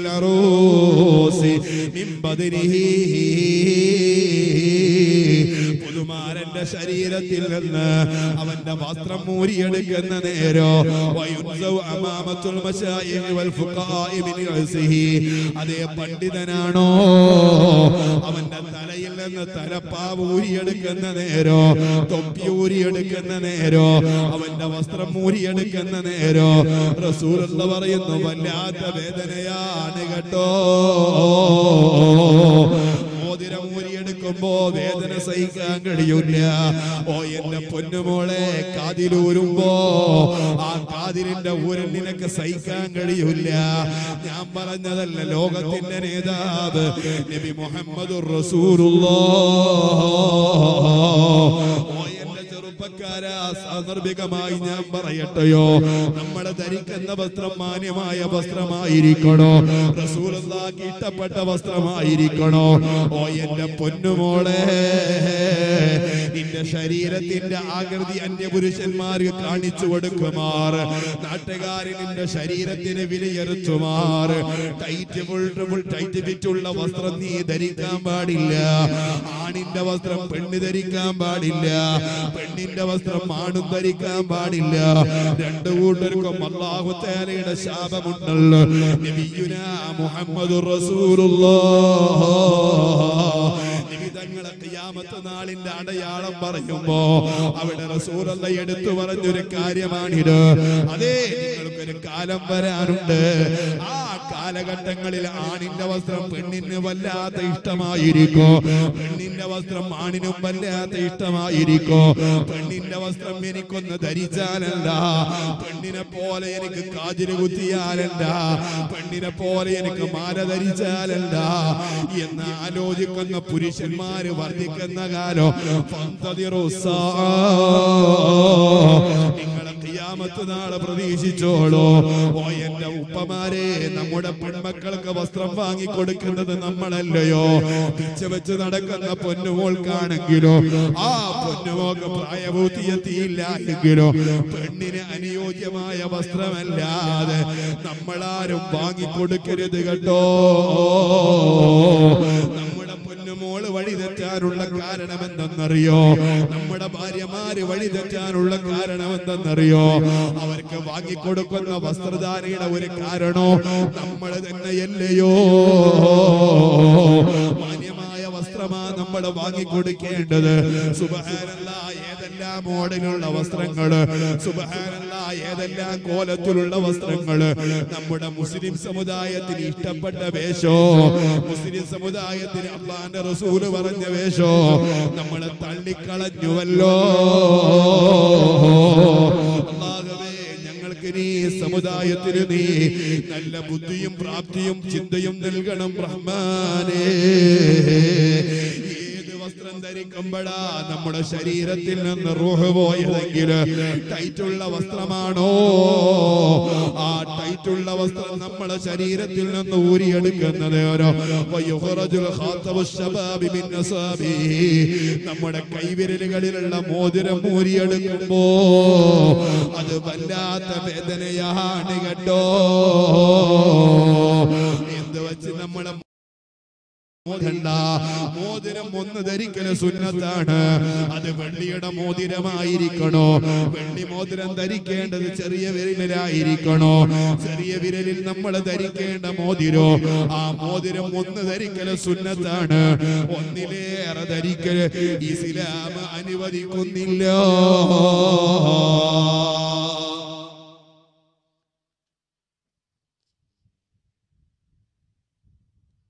ആണുങ്ങളെ ഭാഗത്തേക്ക് ബക്കറ്റ് പോയപ്പോൾ എല്ലാവരുടെ ഭാഗത്തേക്കും പോട്ടെ ബക്കറ്റ് സ്ത്രീകളെ ഭാഗത്തേക്ക് മാത്രം ബക്കറ്റ് ഞമ്മക്കും മാട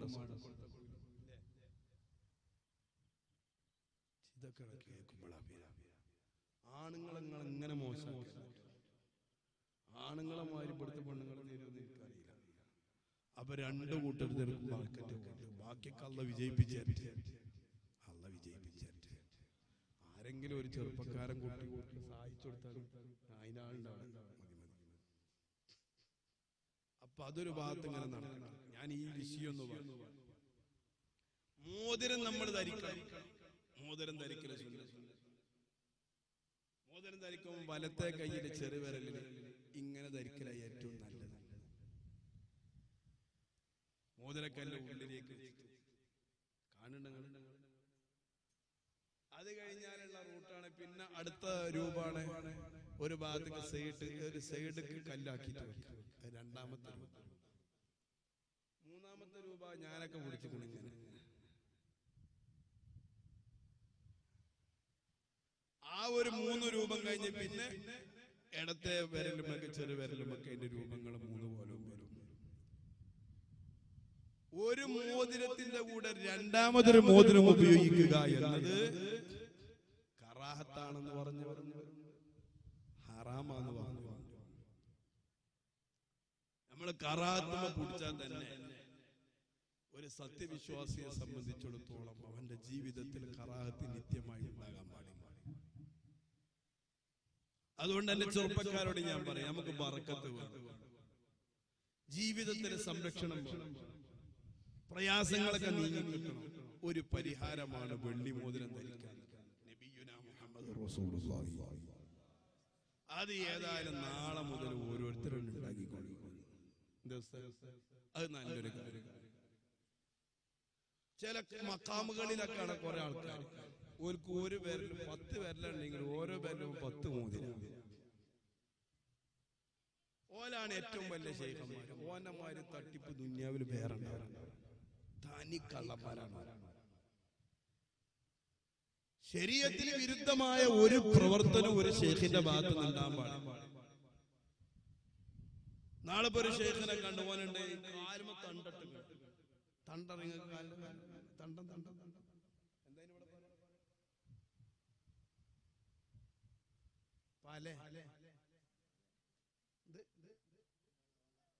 വളെ വള. വള കൈമ കാലം മണില്ല ഒരു തരം തണ്ടം. ഈ ഈ വാളക്കെടുത്തും കാണും ഹിന്ദുക്കൾ തുള്ളണ എന്തായാലും പറയാം. കോമരം തുള്ളണം. ആ ഗജ്ജ തുള്ളുമ്പോണ്ട് കാൽമണ്ണ സുന അതതിന്റെ പേര്. വേണ്ട, ചെരങ്ക അങ്ങനെയാണ് പറഞ്ഞത്. കുറച്ചൊക്കെ അത് പോയി കാണണം. ചെലങ്കട്ടം പൂരം കാണാൻ പറഞ്ഞ അത് ക്ലിപ്പാക്കാൻ നിൽക്കാൻ നിൽക്കാൻ അതൊക്കെ ഒന്ന് നമ്മൾ അങ്ങനെ ഒരു ചെരങ്ക കെട്ടിട്ട് ഒരു ഔലിയനെ കണ്ടു. വലിയ ഔലിയ. ഓൻ എന്താ ഔലിയ? കോഴിക്കോട് ഭാഗത്തുണ്ട് ഒരു കോന്ത്രാമ്പലം ഔലിയ നിൽക്കണം കുരുവട്ടൂര് അവന്റെ പല്ല് അവന്റെ തൊള്ള പഴയാണ് ഒരു കിലോമീറ്റർ അപ്പുറത്താണ് അവന്റെ പല്ല്. ലുക്കെങ്കിലും. അതും ഇല്ലെങ്കിൽ പിന്നെ എന്തിനും? നന്നാകണം. അതേതായാലും പിന്നെ കാണാനൊരു ലുക്ക് അതുമില്ല. അയാൾ ഒരുപാട് കറാമത്ത് അയാളെ പെരീക്ക് ചെന്ന് അയാളെ കൊള്ളം തുറന്ന പിന്നെ കറാമത്തിന്റെ ഗോഡൗൺ കയറി ഒരു കണക്കും കയ്യിൽ അങ്ങോട്ട് കറാമത്ത്. മൂപ്പര മൂപ്പര മുരീതന്മാരോട്. ഞാൻ പാസ്പോർട്ടും വിസയ്ക്ക് എടുക്കണതിന് മുമ്പ് ഹജ്ജിന് പോയിട്ട് പോയി. പാസ്പോർട്ടും വിസയൊക്കെ എടുക്കണതിന് മുമ്പ് ഹജ്ജിന് പോയിട്ട് പോയി. അപ്പോ മുരീതന്മാർക്കും സംശയം. അതെങ്ങനെയാ ശേഖ? ഞാൻ ഒറ്റക്കൊന്നല്ല ഒരുപാട് ആൾക്കാർ ഒരുപാട് മഷായിഖന്മാർ കൂടെ ഞാൻ പോകാൻ തീരുമാനിച്ച അപ്പൊ ഒരു പക്ഷി അവിടെ. ഒരു വലിയ പക്ഷി. അത് ഞാൻ ആ പക്ഷിന്റെ പുറത്ത് കയറിയിരിക്കും എന്നെ ആ പക്ഷി കൈബാലയത്ത് കൊണ്ടാകും ഇങ്ങോട്ട് വരാൻ നേരത്തെ ഇങ്ങോട്ട് കൊണ്ടാക്കി തരും. തമാശ എന്നല്ല. ഇയാളെ കറാമത്തുള്ളതാണ് ഇപ്പൊ നോക്കുമ്പോ അയാളൊക്കെ പാസ്പോർട്ടും വിസ ഒക്കെ ഉണ്ട്. അപ്പൊ ഞാൻ ചോദിച്ചു പക്ഷി ചത്തോ? ഇതുവരെ മറുപടി കിട്ടിയിട്ടില്ല ഇങ്ങനെ കള്ളത്തൊരീക്കത്തേറി ലോകത്ത് ഏത് ഭാഗത്തുണ്ട് അതിന്റെ ഒരു തെളി. ഒന്നിലേറെ മോതിരം ധരിക്കുന്നത് ഷാഫി മധുഹബിൽ അനുവദനീയമല്ല. അത് നമ്മൾ ശരിക്കും നോക്കണം. ആരെങ്കിലും ഒരു പച്ച ഒലി ഒരു പച്ച തുണികുപ്പായിട്ട് എവിടെങ്കിലും ഇരിക്കുമ്പോ അവിടെ നിന്ന് പോയി. ഒരു ദിക്കർ അയാളെ ഓൻ എന്നെ ദിക്കർ ചൊല്ലലും ചൊല്ലി കൊടുക്കാനും കിട്ടണനുസരിച്ച് നമ്മൾ ചൊല്ലി അവിടെ പിന്നെ നിസ്കാരം നോമ്പും വേണ്ട. നല്ലതൊന്നും വേണ്ട. പള്ളിയിലും കേറണ്ട ഇമാമത്തും വേണ്ട. ഇക്കറും ചൊല്ലി ഇങ്ങനെ നടന്നു. അള്ളാഹു നമ്മുടെ സമുദായത്തെ കാക്കട്ടെ. എന്റെ വിഷയം അതല്ല വാ. നിബിതങ്ങൾ പറഞ്ഞു. ഒരു മയ്യത്തിന് ഏറ്റവും കൂടുതൽ വേദനയുള്ള സമയം മരിച്ച മയ്യത്തിന്റെ ശരീരത്തിൽ നിന്ന് വസ്ത്രം മൂരിയെടുക്കുന്ന നേരമാണ്. മോതിരം മൂരിയെടുക്കുന്ന നേരമാണ്. വയുൻസവ അമാമത്തുൽ മശായിഖി വൽ ഫുഖഹാഇ മിർ റഅസിഹി ലിയുഗ്സിലഹു. കുളിപ്പിക്കുന്നതിന് മുമ്പ് അവന്റെ തലപ്പാവ് ഊരുന്ന നേരമില്ലയോ ഈ നേരത്തെ റസൂൽ എന്ന് പറയുന്ന.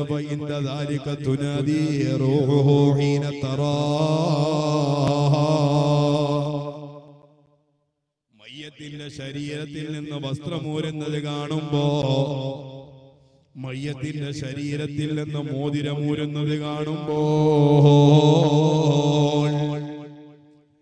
ആ മയ്യത്തിൽ നിന്ന് വിട പറഞ്ഞു പോയ ആത്മാവിത് കാണുകയാണ്. ആ സമയത്ത് തുനാദി സൗദി കൊല്ലുല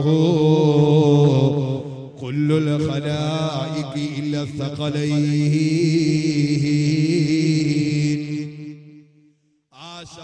കേൾക്കാൻ മനുഷ്യന് കഴിയൂല ജിന്നികൾക്ക് കഴിയൂല അതല്ലാത്ത ജീവജാലങ്ങളെല്ലാം ആ ശബ്ദം കേൾക്കുന്നുണ്ട്. ഓ എന്റെ ഉമ്മ മയ്യത്തിന്റെ വിളിയാളെ നാട്ടിലുള്ള നാക്കാലികൾ കേൾക്കുന്നുണ്ട്. ആ മയ്യത്തിന്റെ വിളിയാളം ഇഴഞ്ഞ് ജീവിക്കുന്ന ഇഴജന്തുക്കൾ കേൾക്കുന്നുണ്ട്. ആ മയ്യത്തിന്റെ വിളിയാളം വീടിന്റെ പരിസരത്തുള്ള മരവർഗങ്ങളും കേൾക്കുന്നുണ്ട്. എന്താണോ റൂഹിന് പറയാനുള്ളതെന്നോ يا وصال أسألك بالله أن تنزع ثيابي برفق فإني الساعة قد استرحت من مجاذبة ملك الموت കുളിപ്പിക്കുന്നത് മൂന്നാളാണോ നാലാളാണോ ആരാണ് ആ മയ്യത്തിനെ കുളിപ്പിക്കാൻ ചെന്നത് കുളിപ്പിക്കുന്ന ആളുകളെയെല്ലാം ആ മയ്യത്തിൽ നിന്ന് പിരിഞ്ഞു പോയ ആത്മാവ് വിളിച്ചു പറയുന്നുണ്ട്. നമ്മുടെ ഉപ്പായെ കുളിപ്പിക്കുമ്പോ ഉപ്പയുടെ ആത്മാവ് പറയുന്നതാണ്. എന്നെ കുളിപ്പിക്കുമ്പോ കുളിപ്പിക്കുന്ന ആളുകളോട് എന്റെ ആത്മാവ് വിളിച്ചു പറയുന്നതാണ്. അസ്അലുക അള്ളാഹുവിനെ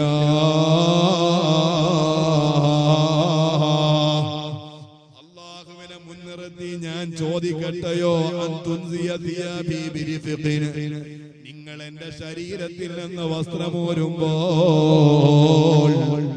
അത് നിങ്ങളെ മൃദുലതയോടുകൂടെ ഊരണേ നിങ്ങൾ വളരെ സൗമ്യമായിട്ട് ഊരണം فإن الساعة قد استرعت من مجاذبة ملك الموت മലക്കുൽ മൗത്ത് അസറായിൽ അങ്ങ് പിടിച്ചുകൊണ്ട് ഇതിന്റെ വേദന ഇപ്പടല്ലേ ഒന്ന് ശമിച്ചിട്ടുള്ളൂ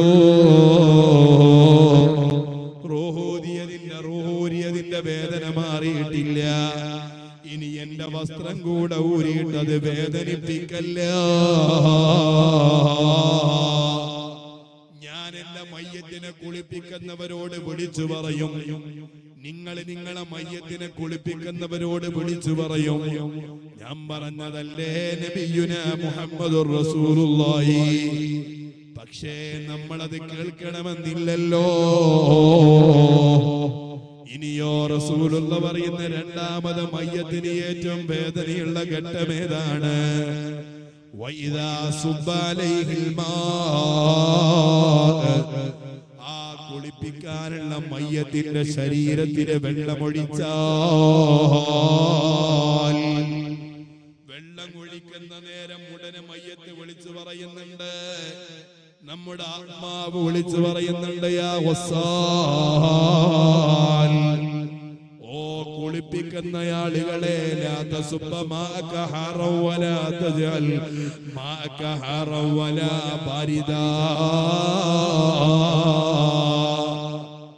എന്റെ ശരീരത്തിലേക്ക് നിങ്ങൾ നല്ല ചൂടുള്ള വെള്ളം ഒഴിക്കരുത്.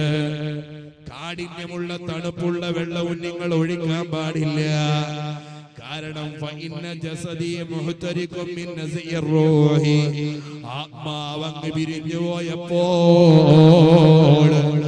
ആത്മാവ് ഞാൻ കരിഞ്ഞവനാണ്. കരിഞ്ഞ ശരീരത്തിലേക്ക് ചുടുവള്ളം ഒഴിച്ചുകൂടല്ലോ. സഹിക്കാൻ കഴിയില്ലല്ലോ എന്റെ ശരീരത്തിന് നിങ്ങൾ കൊടുപ്പിക്കുകയാണെങ്കിലോ ആ ശരീരത്തിലേക്ക് നിങ്ങൾ ചുടുവെള്ളം ഒഴിക്കല്ല. നമ്മുടെ ആത്മാവ് നമ്മളോട് വിളിച്ചു പറയുകയാണ് ഇനിയോ എന്റെ ചെറുപ്പക്കാര എനിക്കും നിങ്ങൾക്കൊക്കെ അനുഭവിക്കാനുള്ള ഘട്ടമാണിത് കേട്ടോ ഓ എന്റെ പെങ്ങളെ നമ്മൾ അനുഭവിക്കേണ്ടവരാണ്. ആ മയ്യത്തിനെ അവരെ കുളിപ്പിക്കുന്ന നേരോ. നമ്മുടെ ശരീരത്തിൽ നിന്ന് വിരിഞ്ഞു പോയ ആത്മാവ് വിളിച്ചു പറയോ. അള്ളാഹുവിനെ മുൻനിർത്തി ചോദിക്കുകയാണ് ഓ കുളിപ്പിക്കുന്ന ആളുകളെ ലാ ഖവിയ്യാ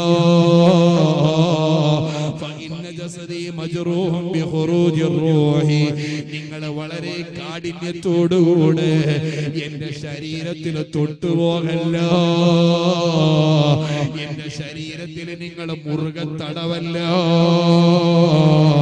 നിങ്ങൾ നല്ലപോലെ പിടിച്ചാൽ അതെനിക്ക് വേദനയാണ്.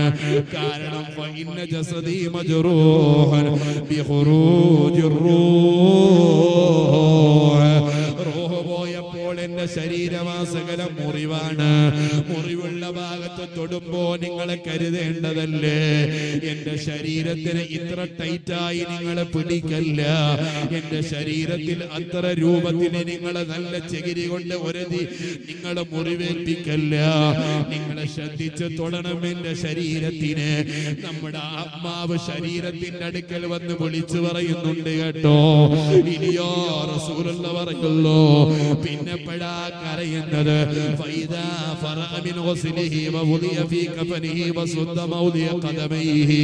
ഒരു മയ്യത്തിനെ കഫം പുടയിലേക്ക് വെച്ചോ. അതേ കുളി റൂമിൽ നിന്ന് കൊണ്ടുപോയി. കുളി കഴിഞ്ഞ് കഫം പുടയിലേക്ക് വെച്ചിട്ട് ആ കഫം പുടയുടെ കാലിന്റെ ഭാഗം പിടിച്ചു കെട്ടുമ്പോ നിങ്ങൾക്കറിയോ നമ്മുടെ കാലിന്റെ ഭാഗമല്ലേ ആദ്യമായി പിടിച്ചു കെട്ടുക? ആ പിടിച്ചു കെട്ടുന്ന നേരോ? മയ്യത്ത് നമ്മളോട് വിളിച്ച് പറയുന്നുണ്ട്. ആത്മാവ് നമ്മളോട് വിളിച്ച് പറയുന്നുണ്ട്. നാദാ നമ്മളെ മയ്യത്ത് വിളിച്ച് പറയുന്ന വാക്ക് എന്തെന്നറിയോ ഓ മനുഷ്യരെ ശുദ്ധ കഫന ഔലാദി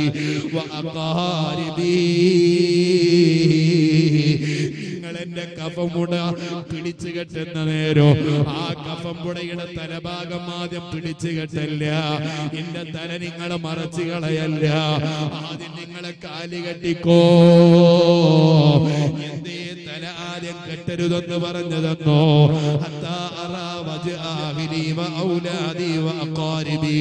ഞാൻ എന്റെ മക്കളെ ഒന്ന് കാണട്ടയോ ഞാൻ എന്റെ കുടുംബത്തെ ഒന്ന് കാണട്ടയോ ഞാൻ എന്റെ ഉമ്മായി ഒന്ന് കാണട്ടയോ.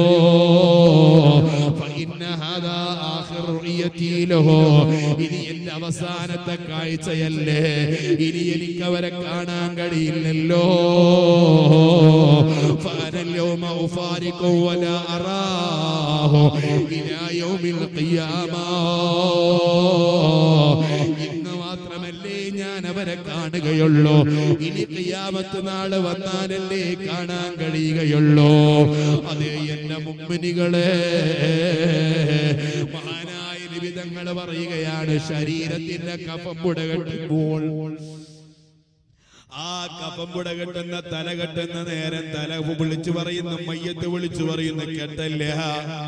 ഞാൻ എന്റെ കുടുംബത്തെ ഒന്ന് കാണട്ടെയോ? ഞാൻ എന്റെ മക്കളെ ഒന്ന് കാണട്ടെയോ? ഇനിയോ റസൂലുള്ള പറയുന്നു വീട്ടിൽ നിന്ന് മയ്യത്തിനെ പുറത്തേക്ക് കൊണ്ടുപോയാൽ. വീട്ടിൽ നിന്ന് മയ്യത്തിനെ പുറത്തേക്ക് എടുത്തു കഴിഞ്ഞാൽ ആ പറയും യാ ലാ ഹത്താ വഖാരിബി വമാലി നിങ്ങളെ പെട്ടെന്ന് എന്നെ കൊണ്ടുപോകരുത്. ഞാനൊന്നും കൂടെ സൂക്ഷിച്ചു നോക്കട്ടെ എന്റെ വീട്ടിലേക്ക്. ഞാൻ എന്റെ കുടുംബത്തെ ഒന്നും കൂടെ കാണട്ടെയോ? ഓ എന്റെ ഉമ്മമാരെ ഇങ്ങനെ ഓരോ ഘട്ടങ്ങളിലും മയ്യത്ത് ഇങ്ങനെ വിളിച്ചു പറയുകയാണ്. വിളിച്ചു പറയുന്നത് നമുക്ക് കേൾക്കാൻ കഴിയണമെന്നില്ല. മനുഷ്യരും ജിന്നുമല്ലാത്ത ഏതെല്ലാ സകലമാന സൃഷ്ടിജാലങ്ങളോ ഈ വിളിയാളെ കേൾക്കുന്നുണ്ട് കേട്ടോ. മുഹമ്മദ് റസൂലുള്ളാഹി.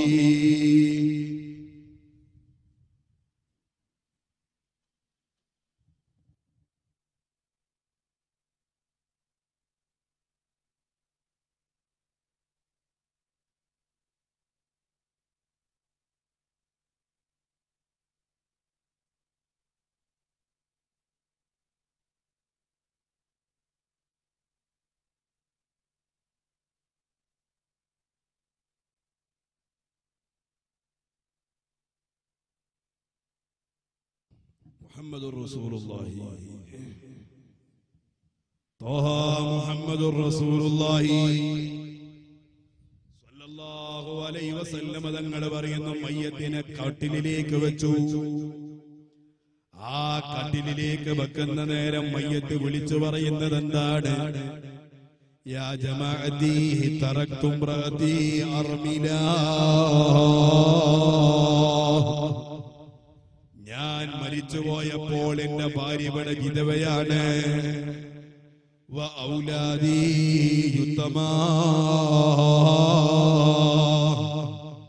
ഞാൻ മരിച്ചതോടുകൂടെ എന്റെ മക്കളല്ല മക്കളെല്ലാം യതീമക്കളാണ് അതുകൊണ്ട് എന്റെ ഭാര്യമാരെ നിങ്ങളെ ശല്യപ്പെടുത്തരുത്. അവരെ നിങ്ങളെ വേദനിപ്പിക്കരുത്. യത്തീമക്കളോ ആ യത്തീമക്കളോട് നിങ്ങളെ മാന്യമായി പെരുമാറണം. അവർക്ക് ഇനി ഉപ്പയില്ലല്ലോ. ഈ ഒരു ചോദ്യമായി ഈ ഒരു വാക്കാണ് മയ്യത്ത് വിളിച്ചു പറയുന്നത്. ഓ എന്റെ മുമ്പിനികളെ വീണ്ടും മഹാനായ നിബിതങ്ങൾ പറയുന്നു ജനാസക്ക് മുകളിൽ ആ മയ്യത്തിനങ്ങ് വെച്ച് കഴിഞ്ഞാലോ? ആ മയ്യത്തതാ മയ്യത്തെ കട്ടിലിലേക്ക് മയ്യത്തിനെ വെച്ച് കൊണ്ടുപോകുന്ന ആളുകൾ മൂന്നടി കാലങ്ങ് വെച്ച് കഴിഞ്ഞ മൂന്ന് കാൽപാദം വെച്ച് കഴിഞ്ഞാൽ മയ്യത്ത് കട്ടിന് പിടിച്ച ആളുകൾ മൂന്ന് കാലടി അങ്ങ് വെച്ച് കഴിഞ്ഞാൽ യുനാദി ബിസൗതി യസ്മഉഹു കുല്ലു ശൈഇൻ ഇല്ല ثقلين ആ സമയത്ത് ആത്മാവ് വിളിച്ചു പറയും യാ അഹ്ബാബി വയാ ഇഖ്വാനി വയാ ഔലാദി അതെ നമ്മുടെ ആത്മാവ് ബാക്കിയുള്ള ആളുകളോട് വിളിച്ചു പറയുകയാണ്. ജമാഅത്തിന്റെ ആളുകളോട് വിളിച്ചു പറയുകയാണ്. ജനാസക്ക് പിന്തുടരാമെന്ന സമൂഹത്തോട് വിളിച്ചു പറയുകയാ. ലാ തകുറന്നകുമു കമാ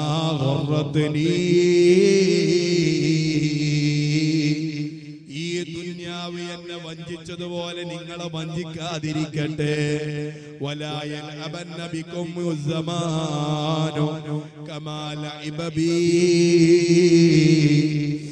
എന്നെ കൊണ്ട് കാലം കളിച്ച പോലെ നിങ്ങളെ കളിക്കാതിരിക്കട്ടെ. ഈ ദുന്യാവിന്റെ മഞ്ചയിൽ ഞാൻ അകപ്പെട്ടു പോയവനാണ്. അങ്ങനെയല്ലേ ഞാൻ ഇങ്ങ് മരിച്ചു പോയത്? മരിച്ചപ്പോഴല്ലേ ഉള്ളതല്ല വഞ്ചനയാണെന്ന് മനസ്സിലായത്? ആ വഞ്ചന എനിക്ക് ഹയാത്ത് കാലത്ത് മനസ്സിലാക്കാൻ പറ്റിയില്ലല്ലോ. അതേ വലായൽ അബൻ നബിക്കുമുസമാനോ കമാല ഓരോ സമയം എന്നെ കൊണ്ട് കളിച്ച പോലെ ആലോചനയില്ലാതെ സമയം പോക്കിക്കളഞ്ഞ പോലെ കാരൻകോടിന്റെ മുമ്പിൽ പോയി സമയം കളഞ്ഞ പോലെ മണിക്കൂറുകൾ വെറുതെ കളഞ്ഞ പോലെ ഫുട്ബോളിന്റെ പിന്നാലെ പോയി സമയം കളഞ്ഞു കുളിച്ച പോലെ ഇബബീ. ഞാൻ എന്റെ സമയം കളഞ്ഞ പോലെ നിങ്ങളെ കളയരുത് കേട്ടോ. നിങ്ങളെ കളിച്ചു കളയാനുള്ളവരല്ല. ഞാനോ ഇത് അനുഭവിച്ചവനാണ്. ഇതിന്റെ വിപത്ത് മനസ്സിലാക്കിയവനാണ്. അതുകൊണ്ട് തന്നെ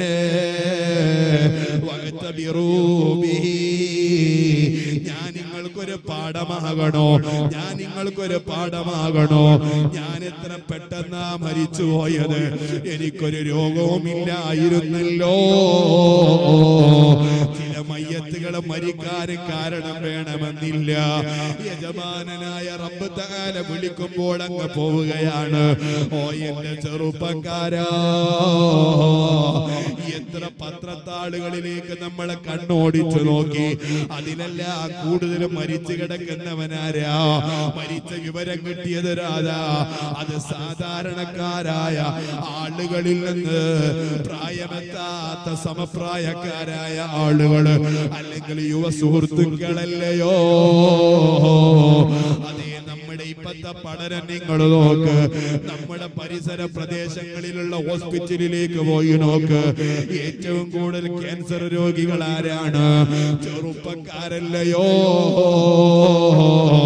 എന്റെ ശരീരത്തിൽ അതിന്റെ അംശമില്ലെന്ന് പറയാൻ കഴിയോ?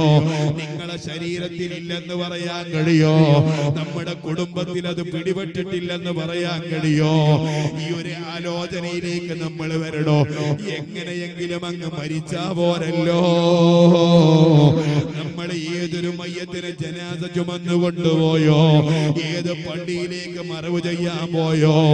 ഏത് പള്ളിയിൽ പോയി ജമ ജനാസ നിസ്കരിച്ചോ?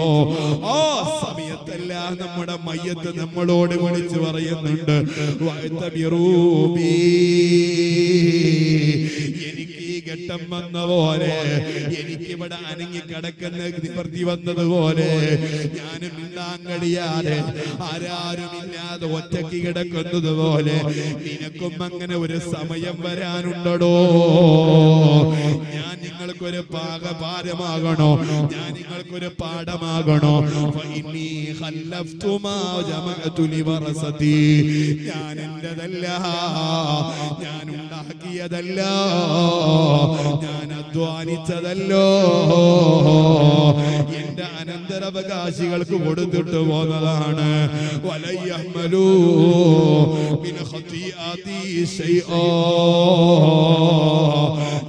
വാങ്ങിയ വാഹനം ഇനി എന്റെ ജേട്ട സഹോദരനുള്ളതാ. ഞാൻ വാങ്ങിയ വാഹനം എന്റെ അനിയൻ ഉപയോഗിക്കാനുള്ളതാ. ഞാൻ ഉണ്ടാക്കിയ വീട്ടിനകത്ത് എന്റെ മക്കളെ താമസിക്കാനുള്ളതാ. എന്റെതെല്ലാം അവർ ഒരുമിച്ച് കൂട്ടി സ്വീകരിച്ചു പോയി. പക്ഷേ എന്റെ സമ്പത്ത് അവർ വീതിച്ചെടുത്തതിന് പകരമായി.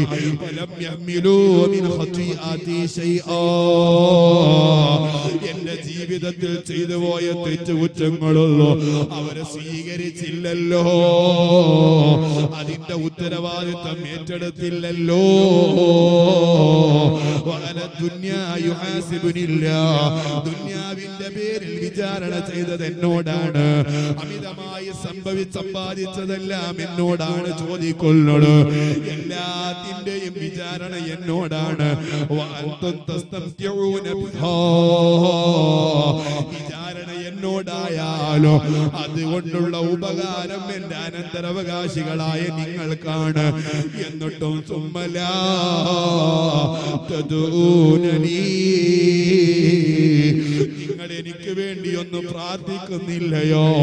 എന്റെ പേരിൽ നിങ്ങളൊന്ന് കരയുന്നില്ലയോ? എനിക്ക് വേണ്ടി നിങ്ങളൊന്ന് ദുവായിരക്കുന്നില്ലല്ലോ എന്റേതല്ലേ നിങ്ങളെ കയ്യിലുള്ളത്? ഓ എന്റെ ഉമ്മ മരിച്ചുപോയ നമ്മുടെ ഉമ്മമാര് പറഞ്ഞ വാക്കാണിത്. ഓ എന്റെ പെങ്ങളെ നമ്മുടെ കൂട്ടത്തിൽ നിന്ന് മരിച്ചുപോയ ആളുകളെ വാക്കാണിത്. ഉമ്മായുടെ കാതിലല്ലേ നിന്റെ കാതിലുള്ളത്? ഉമ്മായുടെ പലതുമല്ലേ നിന്റെ വീട്ടിലുള്ളത്? ഉപ്പ ഇരുന്ന ചാരി കസേരയിലല്ലേ? മൂത്ത മകൻ നിന്ന് പോയി കിടതേ ചാരിയിരിക്കൊള്ളട് ഉപ്പ കടന്ന കട്ടിലല്ലേ നമ്മളെ കടക്കൊള്ളട് എല്ലാം നമ്മുടെ പിതാവ് അധ്വാനിച്ചുണ്ടാക്കിയതാണ്.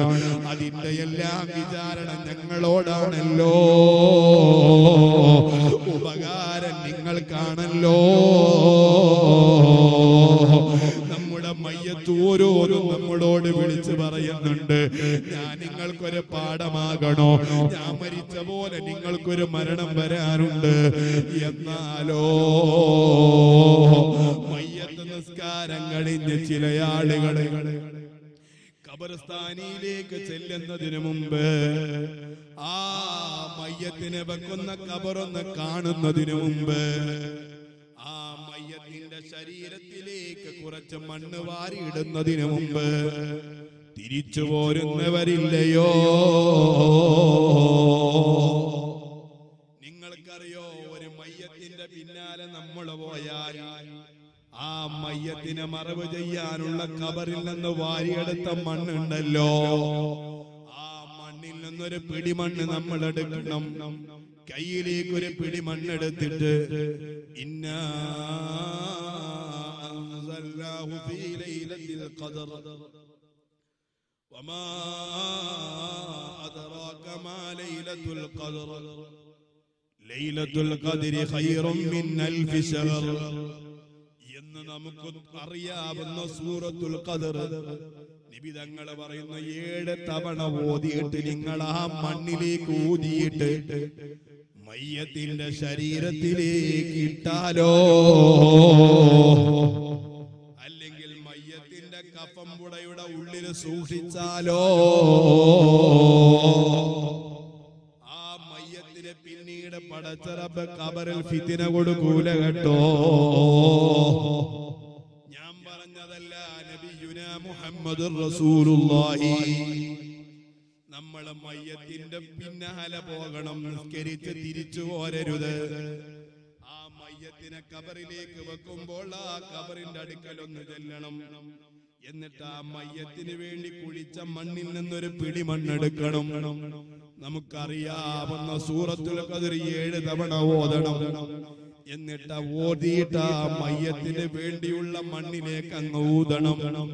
ഈ ഊതിയ മണ്ണ് നമ്മൾ കബറിലേക്ക് നിക്ഷേപിക്കുകയാണെങ്കിൽ അമിനമിന് പിത്തനത്തിൽ കബരി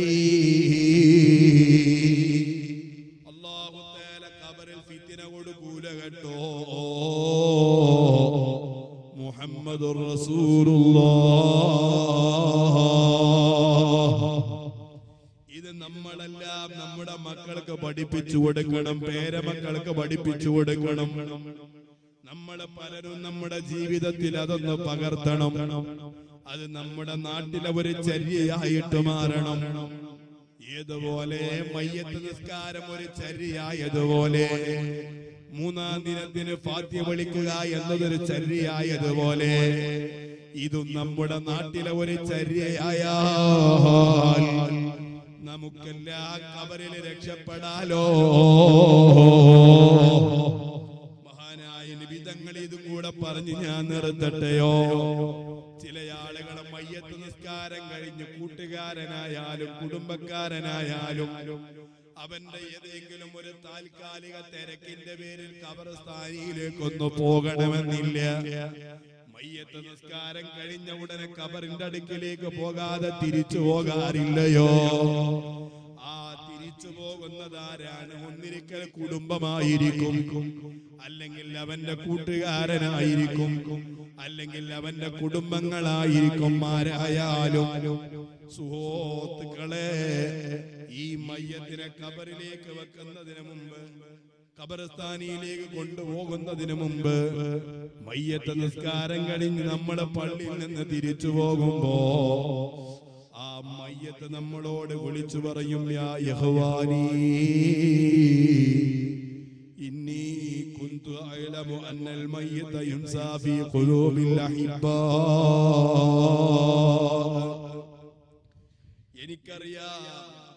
ഒരാൾ മരിച്ചുപോയാൽ അവനെ പെട്ടെന്ന് മറന്നു പോകുമെന്ന്. എന്നും മരിച്ചവരെ നിങ്ങൾ ഓർക്കൂല എന്ന് എനിക്കറിയാം. ശരി തന്നെയല്ലേ? എത്ര ആളുകളെ നമ്മൾ കൊണ്ട് മറവ് ചെയ്ത് തിരിച്ചു പോന്നു? പാവപ്പെട്ട എന്റെ ഉപ്പായ ഞാൻ അഞ്ചു മാസം മുമ്പ് ഖബറിലേക്ക് വെച്ച് പോന്നതാണ്.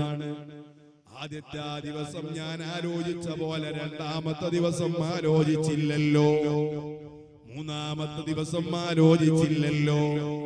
ഇന്നൽ മയ്യിത്ത യുൻസാ في قلوب الأحياء. ജീവിച്ചിരിക്കുന്നവരെല്ലാം മരിച്ചവരെ മറന്നുപോകുമെന്ന് എനിക്കറിയാം എന്നും നിങ്ങൾ ഞങ്ങളെ ഓർക്കണമെന്നില്ല. പക്ഷേ വലാകില്ലാ തൻസൗനി ബിഹാദി സുറ ഇത്ര പെട്ടെന്ന് ഞങ്ങളെ മറക്കണ്ടില്ലായിരുന്നു നിങ്ങൾ മയ്യത്ത് നിസ്കാരത്തോടുകൂടെ മറന്നുപോയല്ലോ.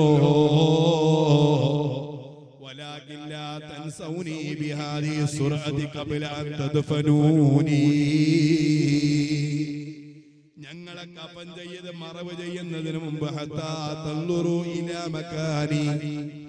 ഞാൻ കിടക്കുന്ന കബറിടമൊന്ന് കാണാൻ പോലും സമയമില്ലാതെ നിങ്ങൾ എന്നിൽ നിന്ന് തിരിച്ചു പോയല്ലോ. എന്നാൽ നിങ്ങൾക്കറിയണോ മരിച്ചുപോയ ആളുകൾക്ക് നിങ്ങളെ സാമീപ്യം വല്ലാത്ത ഇഷ്ടമാണ് കേട്ടോ. നിങ്ങളെ ആമീനവരെ പ്രതീക്ഷിക്കുന്നുണ്ട് കേട്ടോ. യാസീനവരെ കാത്തിരിക്കുന്നുണ്ട് കേട്ടോ കബറാളിയിലേക്ക് കബറാളികളെ അവസ്ഥ റസൂലുള്ള പറഞ്ഞത്. ആഴമേറിയ കിണറ്റിലേക്ക് ഒരാളെ കാൽ വഴി വീണാൽ സുബഹാനല്ലാ വലിയൊരു കടലിലേക്ക് ഒരാൾ വീണുപോയാൽ മുങ്ങിച്ചാവുമെന്ന് കാണുമ്പോ അവനൊരു പിടിവള്ളി കിട്ടാൻ ആഗ്രഹിക്കുന്നത് പോലെ ഒരാളെ കൈത്തണ്ട കിട്ടിയ പിടിച്ചൊന്ന് കയറാമായിരുന്നു എന്ന് വിചാരിക്കുന്നത് പോലെ കബറാളികളായ ആളുകൾ നമ്മുടെ ഒരു ആമീനെ കാത്തിരിക്കുന്നുണ്ടെന്ന ചിന്ത മറക്കരുത്. എന്റെ മക്കൾ എനിക്ക് ഫാത്തിയെ വിളിക്കുന്നുണ്ടോ? എന്റെ മക്കൾ എനിക്ക് വേണ്ടി ദുവായിരക്കുന്നുണ്ടോ എല്ലാ ദിവസവും അവരിങ്ങനെ പ്രതീക്ഷിച്ചു കൊണ്ടിരിക്കുന്നുവെന്ന് നബി മുഹമ്മദ് റസൂലുള്ളാഹി. റസൂലുള്ളാഹി നിങ്ങൾ പറയുന്നു വൈദാ ബദഊഹു ഫീ ലഹദിഹി. മയ്യത്തിനെ കബറിലേക്ക് അങ്ങ് വെച്ചാലോ? ആ മയ്യത്ത് ഉടനെ തന്നെ വിളിച്ചു പറയുന്നത് ആരെയാണ്? ബില്ലാഹി വാരിദി. ഓ എന്റെ അനന്തരവകാശികളായ മക്കളെ. മാ ജമഅതു മാലൻ കതീറം ദുനിയാ. ഇല്ലാ തറക്തുക്കും തറക്തുഹു ലക്കും ഞാൻ ഈ ദുന്യാവിൽ ഉണ്ടാക്കിയതല്ല നിങ്ങൾക്ക് ഒഴിവാക്കി പോന്നവനാണ്. എന്റതൊന്നും ഞാൻ കൊണ്ടുപോയിട്ടില്ലല്ലോ. ഗൾഫിൽ പോയി അധ്വാനിച്ചുണ്ടാക്കിയ വീടോ വീടിന്റെ പരിസരമോ വാങ്ങിയ വസ്ത്രമോ ഉണ്ടാക്കിയ ആഭരണങ്ങളോ. ഒന്നും ഞാൻ ഇങ്ങോട്ട് കൊണ്ടുവന്നിട്ടില്ല. ഇല്ലാ തറക്കൂലക്കും എല്ലാം നിങ്ങൾക്കുള്ളതാണ്. ആര് പറയുന്നു? കബറിലേക്ക് വെക്കുന്ന നമ്മുടെ ഉപ്പ നമ്മളെ വിളിച്ച് പറഞ്ഞു പോയി. നമ്മളോട് എല്ലാവരും വിളിച്ചു പറയുന്നുണ്ട്. അതുകൊണ്ട് അവരുടെ ആവശ്യം എന്താ? എന്റെ വാഹനം നിങ്ങൾ എടുത്തൂടൂ ഞാൻ അധ്വാനിച്ചുണ്ടാക്കിയ വീട് നിങ്ങൾ എടുത്തോളൂ പക്ഷേ പത്തതക്കുറൂനീ നിങ്ങളെന്ത് നല്ല കാര്യം ചെയ്യുമ്പോഴും ഞങ്ങളെയൊന്ന് ഓർക്കണേ. നിങ്ങളൊരു വയത് വെച്ചാൽ ഞങ്ങളെ ഒന്ന് ഓർക്കണേ. നിങ്ങളൊരു ബുദ്ധ സംഘടിപ്പിച്ചാൽ ഞങ്ങളെ കുറിച്ചൊന്ന് ഓർക്കണേ. നിങ്ങളൊരു മൗലീത് വീട്ടിൽ സംഘടിപ്പിച്ചാൽ ഞങ്ങളെയും നിങ്ങൾ ഓർക്കണേ. കാരണം അല്ലം തുക്കുമുൽ ഖുർആന. നിനക്ക് ഫാത്തിയ പഠിപ്പിച്ചതാരാണ് നിന്റെ ഉപ്പയല്ലയോ? അതിനുള്ള സാഹചര്യം ഒരുക്കിയതാരാണ് നിന്റെ ഉപ്പയല്ലയോ? നിനക്കൊരു മുമ്പിനാവാൻ ഭാഗ്യം ലഭിച്ചതിന്റെ കാരണം നിന്റെ ഉപ്പയല്ലയോ? ഉമ്മയല്ലയോ? അതുകൊണ്ട് പല തൻസൂനി ഒരു കാലത്തും ഞങ്ങളെ നിങ്ങളെ മറക്കാൻ പാടില്ല. നമ്മുടെ മരിച്ചുപോയ മുഅ്മിനീങ്ങളെ വിളിച്ചു പറഞ്ഞിട്ടുണ്ട് മുഹമ്മദ് റസൂലുള്ളാഹി. മഹാനായ ഇമാം അബ്ദുറഹ്മാൻ അഹമ്മദുൽ ഖാദിർ റളിയല്ലാഹു അൻഹു. ദഖായിഖുൽ അഖ്ബാർ ബി ദിക്രിൽ ജന്നത്തി വന്നാർ എന്ന് പറയുന്ന കിതാബിൽ ഈ ഹദീസ് വിശദക വിശദമായി പറയുന്നുണ്ട്. ഓ എന്റെ ഉപ്പമാരെ ഒരറ്റ കാര്യം കൂടെ പറഞ്ഞുകൊണ്ട് ഞാൻ നിർത്തട്ടെയോ? നമ്മളിൽ നിന്നും മരിച്ച ആളുകളുടെ ആത്മാക്കൾ എല്ലാ ദിവസവും നമ്മുടെ വീടിന്റെ നേരെ മുകളിൽ വന്ന് നിൽക്കുന്നുണ്ട് കേട്ടോ ഒന്നാം ആകാശത്ത് നമ്മുടെ വീടിന്റെ നേരെ മുകളിൽ. വീടിന്റെ നേരെ മുകളിൽ അവർ താമസിച്ചിരുന്ന വീട്ടിന്റെ മുകളിൽ വന്ന് നിൽക്കുന്നുണ്ട് ഉപ്പ മരിച്ചത് അങ്ങ് സൗദി അറേബ്യയിലാണെങ്കിലും വിദേശ രാജ്യങ്ങളിലായാലും ആത്മാക്കളിക്കാലം അത്രയും അവർ താമസിച്ചിരുന്ന വീടിന്റെ നേരെ മുകളിൽ ഒന്നാൻ ആകാശത്ത് വന്ന് വീട്ടിലേക്ക് നോക്കുകയാണ്. ആരെല്ലാം അവിടെ ഒരുമിച്ച് കൂടിയിട്ടുണ്ട്? ആരാണ് എന്റെ പേരിൽ കരഞ്ഞുകൊണ്ട് ആയിരക്കുന്നത് ആരാണ് എനിക്കൊരു ഫാത്തി ഓതാനുള്ളത്? ആരാണ് ഒരു യാസീൻ ഓതാനുള്ളത്? നമ്മുടെ ഉപ്പ നമ്മെ പ്രതീക്ഷിച്ച് നോക്കി നിൽക്കുന്നുണ്ട്.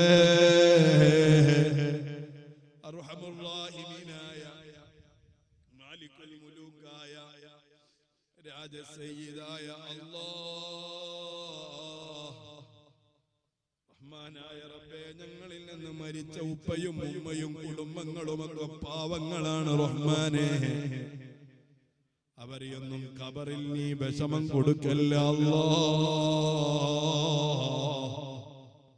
അവരൊക്കെ പാവപ്പെട്ട അടിമകളല്ലേ മഹഫിറത്ത് നൽകണേ അല്ലാ. ഞങ്ങളെ വാപ്പാക്ക് വേണ്ടി ഞങ്ങൾ ദുവായിരക്കുന്നതിന്റെ ഫലമെന്നോണം. ഉമ്മാക്ക് വേണ്ടി ഞങ്ങളെ കണ്ണീരൊഴിക്കുന്നതിന്റെ ഫലമെന്നോണം. ഞങ്ങൾ ഇന്നല്ലെങ്കിൽ നാളെ ഇതേ യാത്ര പോകേണ്ടവരാണ്. ഞങ്ങൾ കുന്തുവായിരക്കാൻ മക്കളെ തരണേ അല്ലോ ഒരൊറ്റ ചരിത്രം ഞാൻ വർഗത്തിന് വേണ്ടി പറഞ്ഞു നിർത്തട്ടെയോ? മഹാന്മാരായ ഔലിയാക്കളെ മരിച്ച മാസമല്ലയോ? ജമാതുല്ലാഹിർ മഹാന്മാരായ സ്വാലിഹീങ്ങൾ മരിച്ചവരല്ലയോ ജമാതുല്ലൂല അതേ ഹബീബായ നബി തങ്ങളെ മരണമാണ് നടന്നത് ജനനവുമാണ് നടന്നത്. റബീഉൽ ആഖിറായപ്പോഴോ ശൈഖ് ജീലാനി തങ്ങൾ അല്ലാഹു തആല കൊണ്ടുപോയ മാസം മഹാനായ കണ്ണിയത്ത് ഉസ്താദിനെ കൊണ്ടുപോയ മാസം മഹാനായ ശംസുലമീക്കെ ഉസ്താദിനെ കൊണ്ടുപോയ മാസം മഹാനായ താജുലുലമ ഉള്ളാളത്തെ തങ്ങളുപ്പാപ്പയെ കൊണ്ടുപോയ മാസം മഹാനായ നൂറുലമയമ്മയെ ഉസ്താദിനെ കൊണ്ടുപോകാൻ തെരഞ്ഞെടുത്ത മാസം. ആ മാസവും നമ്മളിൽ നിന്ന് കഴിഞ്ഞുപോയി. തങ്ങളെ മാസമാണ്. അവരെ കുറിച്ചല്ല നമ്മൾ അനുസ്മരിക്കുന്നത് എന്തിനെന്നറിയോ അവർ മരിച്ച പോലെ ഈമാനോടുകൂടെയൊന്ന് മരിക്കാൻ ബഹുമാനപ്പെട്ട അഹമ്മദുൽ കബീർ റിഫായി തങ്ങളെ വഫാത്തായത് മുപ്പത് ദിവസം വയറിളക്കം പിടിച്ചുകൊണ്ടാണ്. സുബഹാനല്ലോ. ഒരൊറ്റ ദിവസം തന്നെ മുപ്പത് ദിവസം മുപ്പത് തവണയായി വയറിളകി പോകും. അവസാനം മുഹമ്മദുൽ കബീർ തങ്ങൾ ഈ ലോകത്തിൽ നിന്ന് വിട പറഞ്ഞു പോകുമ്പോ അദ്ദേഹത്തിന്റെ ശരീരത്തിൽ മാംസമില്ലായിരുന്നു. എല്ലും തോലുമായിട്ട് അഹമ്മദുൽ കബീർ തങ്ങൾ വഫാത്തായത്. എന്തിനെന്നറിയോ? അഹമ്മദുൽ കബീർ ആഗ്രഹമാണ് എന്റെ ജീവിതത്തിൽ എങ്ങാനും ഹറാമായ വല്ല ഭക്ഷണവും കൊണ്ട് വല്ല ഇറച്ചിയും ശരീരത്തിലുണ്ടെങ്കിൽ അത് ഒഴിഞ്ഞു പോകാതെ റബ്ബിന്റെ അടുക്കിലേക്ക് എനിക്ക് പോകണമെന്നില്ല. യജമാനായ റബ്ബ് ആഗ്രഹം പൂവണിയിച്ചു കൊടുത്തു. അസുഖങ്ങ് അസുഖമങ്ങ് പിടിച്ചു. ഒരൊറ്റ ദിവസം മുപ്പത് തവണ വയറിളക്കം വരുന്നു. സുബഹാനല്ലാ ശരീരമെല്ലാം ശയിച്ചു പോയല്ലോ. അള്ളാഹുവിന് തൃപ്തിപ്പെട്ടവരായി മരിച്ചു പോയല്ലോ. റഹ്മാനായ റബ്ബേ മഹാന്മാരുടെ പൊരുത്തമുള്ള മജിലിസാക്കണം റഹ്മാനേ. ഞങ്ങൾ എവിടെ വെച്ച് മരിക്കുമെന്ന് ഞങ്ങൾക്ക് പറയാൻ കഴിയില്ല. ഞങ്ങൾ എങ്ങനെ മരിക്കുമെന്ന് ഞങ്ങൾക്ക് ചിന്തിക്കാൻ അറിയില്ല. ഞങ്ങൾ ദഹലിയിലെ ചൊല്ലി മരിക്കുമോ? ഇമാനില്ലാതെ മരിക്കുമോ എന്ന് തീർത്തു പറയാൻ കഴിയില്ല. പക്ഷേ ഒരാൾ മരിക്കുന്നതിന്റെ നാൽപ്പത് ദിവസം മുമ്പ് മഹാനായ അസറായിലിന് അള്ളാഹു വിവരം കൊടുക്കുമെന്ന് നബി മുഹമ്മദ് റസൂലുള്ളാഹി. ഞാൻ മരിക്കുന്നതിന്റെ നാൽപ്പത് ദിവസം മുമ്പ് റസൂലുള്ളാഹി പറയുന്നു അസറായിലിന് അള്ളാഹു താല വിവരം കൊടുക്കുന്നുണ്ട്. ആ വിവരം കൊടുത്താലും നാൽപ്പത് ദിവസം ഞാൻ ഇവിടെ സഞ്ചരിക്കുന്നവനാണ്. ഞാൻ ഇന്നിവിടെ വയത് പറയുന്നുണ്ട് പക്ഷേ എന്റെ വിവരം അസറായിലിന് കൊടുത്തോ? എനിക്ക് പറയാൻ കഴിയില്ലല്ലോ. ഓ എന്റെ ചെറുപ്പക്കാര. മരണത്തിന് സമയമില്ല കേട്ടോ. കഴിഞ്ഞ വർഷമല്ലേ അതേ എസ് എൽ സി എഴുതാൻ വേണ്ടി സ്കൂളിലേക്ക് എക്സാമിന് പോയ ചെറുപ്പക്കാരൻ ഒരു രോഗവുമില്ലാത്ത പൊന്നുമോൻ. പരീക്ഷ ഹാളിൽ പെട്ടെന്നങ്ങ് കൊഴിഞ്ഞു വീണ് പെടഞ്ഞു മരിച്ചല്ലോ. ഫലിക്കുല്ലി ഉമ്മത്തിൻ സാഅതൻ വലാ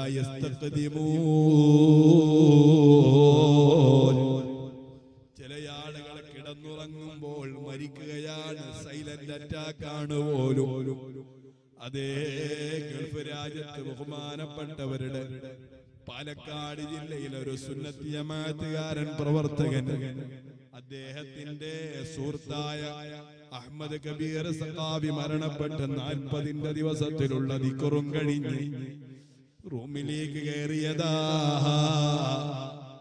അതേ കൂടെ നിന്നിരുന്ന അഹമ്മദ് കബീർ സഖാബി മരണപ്പെട്ടപ്പോ അതിന്റെ സങ്കടം സഹിക്കാൻ കഴിയാതെ സുന്നത്തിയമാത്തിന്റെ സജീവ പ്രവർത്തകൻ നാൽപ്പതിന്റെ അന്ന് ഫാത്തിയും യാസീനും മൗലീദും ചൊല്ലി. അദ്ദേഹത്തിന്റെ നല്ല സൗകര്യമുള്ള റൂമിലേക്ക് ചെന്ന് മുസല്ല വിരിച്ച സുന്നത്ത് നിസ്കരിക്കാൻ വേണ്ടി നിന്നതാണ്. തൽക്കാലത്തിന് വേണ്ടി വാതിന് കുറ്റിയിട്ടിട്ടുണ്ട്. പക്ഷേ ആരോഗ്യമുള്ള ഏറ്റവും വലിയ മുതലാളിയായ സുന്നത്തിയമാറ്റിന് വേണ്ടി ഓടി നടന്നിരുന്ന ചെറുപ്പക്കാരൻ പിന്നീട് വാതിൽ തുറക്കുന്നില്ലല്ലോ. എനിക്ക് കിട്ടിയ വിവരമെന്നെന്തറിയോ കണ്ണിലേക്ക് വെച്ച കണ്ണട പോലും ഊരിപ്പോയിട്ടില്ല. മുസല്ലയിലേക്ക് ഇരുന്ന് സുജൂതിലായി മരിച്ചു എന്ന വാർത്തയല്ലയോ? എത്ര വലിയ ഭാഗ്യമുള്ള മരണമാണ്. ഞാൻ എവിടെ വെച്ച് മരിക്കുമെന്ന് പറയാൻ കഴിയോ?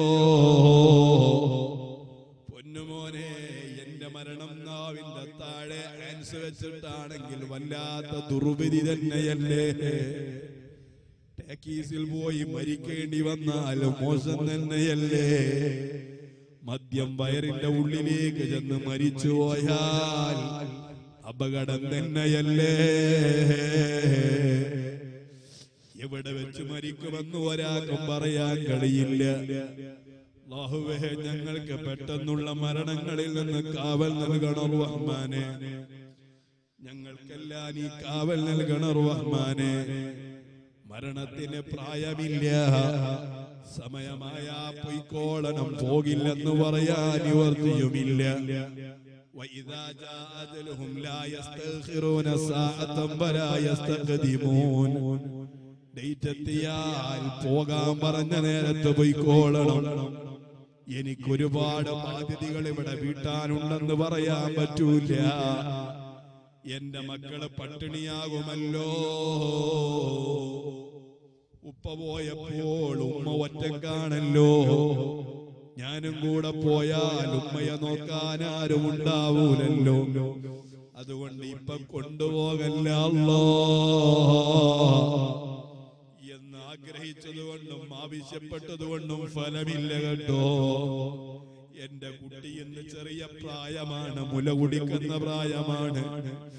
ഞാൻ മരിച്ചുപോയാൽ എന്റെ കുട്ടിക്ക് മുല കൊടുക്കുന്നതാരായിരിക്കും അവന് കരഞ്ഞാൽ താരാട്ട് പാടാൻ ആരുണ്ടായിരിക്കും എന്നെ ഇപ്പൊ കൊണ്ടുപോകല്ല എന്നുമ്മ വിചാരിച്ചിട്ട് കാര്യമില്ല അതേ സമയമായ യാത്രക്കൊരുങ്ങിക്കോളണം لا يستقدمون ساعة ولا يستأخرون അതേ ചില സമയത്ത് അള്ളാഹു തആല നമ്മൾ പോകാൻ വിചാരിച്ചാലും കൊണ്ടുപോകണമെന്നില്ല. ചില ആളുകൾക്ക് നിത്യ രോഗമാണ് പതിനഞ്ച് കൊല്ലമായി വൃക്കയുടെ രോഗം പിടിപെട്ടു. അതേ വേദന കടിച്ചമർത്തുന്ന ആയിരങ്ങളില്ലയോ? ചെറുപ്പക്കാരാ ആലോചിച്ചോളണം. നമ്മുടെ കൈക്കൊരു ചെറിയ പഴിപ്പ് വന്നാ നമുക്ക് സഹിക്കാൻ കഴിയുന്നില്ലല്ലേ ഒരു പല്ല് വേദന വന്നാൽ നമുക്ക് ഉറക്കെ വരാറില്ല അല്ലേ? എന്നാ ഒരു തുള്ളി വെള്ളം കുടിക്കാൻ കഴിയാതെ അന്നനാളയത്തിന് ക്യാൻസർ പിടിച്ചാലോ? നമ്മുടെ നാവിന് ചെറിയൊരു മുറി വന്നാൽ അവിടെ നാവ് തട്ടുമ്പോഴേക്ക് വേദനയാണ്. എന്നാൽ ആ നാവിന് ക്യാൻസർ പിടിച്ചാലോ? നമ്മുടെ ശരീരത്തിൽ പുഴുക്കളരിക്കുന്ന രോഗം വന്നാൽ സഹിക്കാൻ കഴിയില്ലല്ലോ. ആ സഹിക്കാൻ പറ്റാത്ത രോഗം പിടിപെട്ട നേരം എനിക്ക് പെട്ടെന്നൊന്നും മരിച്ചാ മതിയായിരുന്നു. എന്ന് കരുതിയിട്ട് കാര്യമില്ല കേട്ടോ. വേദന അനുഭവിക്കേണ്ടവരാണെങ്കിൽ അനുഭവിക്കേണ്ടി വരും. അർഹമുറാഹിമീനായ മാലിക്കുൽ മുലൂക്കായ. രാജസീതായ അല്ലോ ഞങ്ങൾ പാവങ്ങളാണ് റഹ്മാനെ. തെറ്റുവലതും ഞങ്ങൾ ചെയ്തവരാണ്. പക്ഷേ ഹബീബിന്റെ സ്വലാത്ത് വാർഷികത്തിന് വേണ്ടി ഞങ്ങൾ ഇവിടെ ഒരുമിച്ച് കൂടിയിട്ടുണ്ട്. ഞങ്ങളെ ജീവിതത്തിലൊരു തങ്ങളെയും ഞങ്ങളെ ചീത്ത പറഞ്ഞിട്ടില്ല. ഞങ്ങളുടെ ആലിമിനെയും കൊച്ചാക്കാൻ പോയിട്ടില്ല. ഒരു മഹല്ലത്തിലും ഞങ്ങളെ കുഴപ്പം സൃഷ്ടിക്കാൻ പോയിട്ടില്ല. ഞങ്ങൾക്ക് ഇനി മാറാരോഗമെന്ന് തളർത്തിക്കളയല്ല അല്ലോ ഞങ്ങളാരെയും നീ വിഷമിപ്പിക്കല്ലേ റഹ്മാനെ? കണ്ണിന് ക്യാൻസർ വിളിച്ച് രണ്ട് കണ്ണും ചുഴിഞ്ഞെടുത്ത് പ്ലാസ്റ്റിക്കിന്റെ കണ്ണ് വെച്ചവർ. പിന്നെ ആ കണ്ണുകൊണ്ട് ഉമ്മായെ കാണാൻ പറ്റാതെ ഖുർആന് നോക്കാൻ പറ്റാതെ റൗല കാണാൻ ഭാഗ്യമില്ലാതെ അലിബീങ്ങളെ കണ്ടാൽ അവരെ മുഖത്തൊന്നു നോക്കാൻ കഴിയാതെ. മകനെ കണ്ടവന്റെ മുഖത്തേക്ക് നോക്കി പുഞ്ചിരി തൂകിയ മുഖത്തൊരു ചുടുചുംബനം കൊടുക്കാൻ കഴിയാതെ. കണ്ണിന് കാഴ്ച നഷ്ടപ്പെട്ട എത്ര ആളുകളുണ്ട്. നീ ശിവ കൊടുക്കണയല്ലോ ഞങ്ങൾ ഈ പരിചയമില്ലാത്ത ദുആയിരുന്നത് ഞങ്ങൾ അങ്ങനത്തെ നിന്ന് കാവൽ നൽകപ്പെടാനാണ്. ഞങ്ങൾക്ക് നീ കാവൽ നൽകണം ഞങ്ങളിൽ നിന്ന് മരിച്ചു പോയവർ ആരൊക്കെ രോഗികളായി മരിച്ചോ? വൈറസ് സംബന്ധമായ രോഗം കൊണ്ട് മുമ്പിനായ മനുഷ്യൻ മരിച്ചാൽ അവർക്ക് ഷഹീദിന്റെ കൂലിയുണ്ടെന്ന് ഹബീബ് പഠിപ്പിച്ചതല്ലയോ? പാവപ്പെട്ട എന്റെ ഉപ്പയടക്കം. ആരൊക്കെ വയറ് സംബന്ധമായ രോഗം കൊണ്ട് മരണപ്പെട്ടുവോ? നീ കബറിൽ മഗ്ഫിറത്ത് നൽകണം റഹ്മാനേ? ഞങ്ങളും ഇവിടെ ഒരുമിച്ച് കൂടി വരുമല്ല. പല ഭാഗത്തേക്കും യാത്ര പോയവരാണ് പോകുന്നവരാണ്. എവിടെ വെച്ച് അപകടം വരുമെന്ന് ഞങ്ങൾക്കറിയൂല. മഹാന്മാരായ ഔലിയാക്കളെ കാവൽ ഞങ്ങൾക്ക് നൽകണം റഹ്മാനെ? ഞങ്ങൾക്ക് നീ മാറാരോഗങ്ങൾ തന്ന് പരീക്ഷിക്കല്ല അല്ലോ ഓ എന്റെ മുമ്പിനെ ആഫിയത്തുള്ള ശരീരം വേണോ നിനക്ക്? ഒരുപാട് കാലം ഈ ദുന്യാവിൽ ആരോഗ്യത്തോടുകൂടെ ജീവിക്കണോ? ഇതാ ശിഅ്ത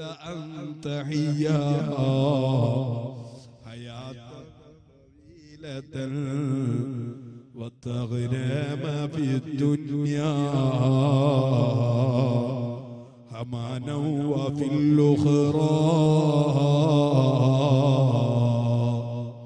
നിനക്കൊരുപാട് കാലം ദീർഘായുസ് വേണോ ദുന്യാവിലുള്ള വിപത്തിൽ നിന്ന് നിനക്ക് സംരക്ഷണം വേണോ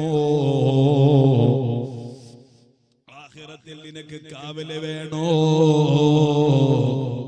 ഒരു പരിഹാരമുണ്ട്. വിപത്തുകൾ തട്ടാൻ.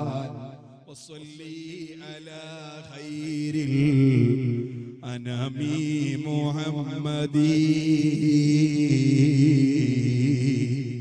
അതിനൊരു പരിഹാരം നബി മുഹമ്മദ് നബി തങ്ങളുടെ പേരിൽ ധാരാളം സ്വലാത്ത് ചൊല്ലിയ വിപത്ത് തട്ടപ്പെടുന്നുണ്ട്. ആയുസ് വർദ്ധിക്കപ്പെടുന്നുണ്ട് ആരോഗ്യം നിലനിർത്തപ്പെടുന്നുണ്ട് റബ്ബേ.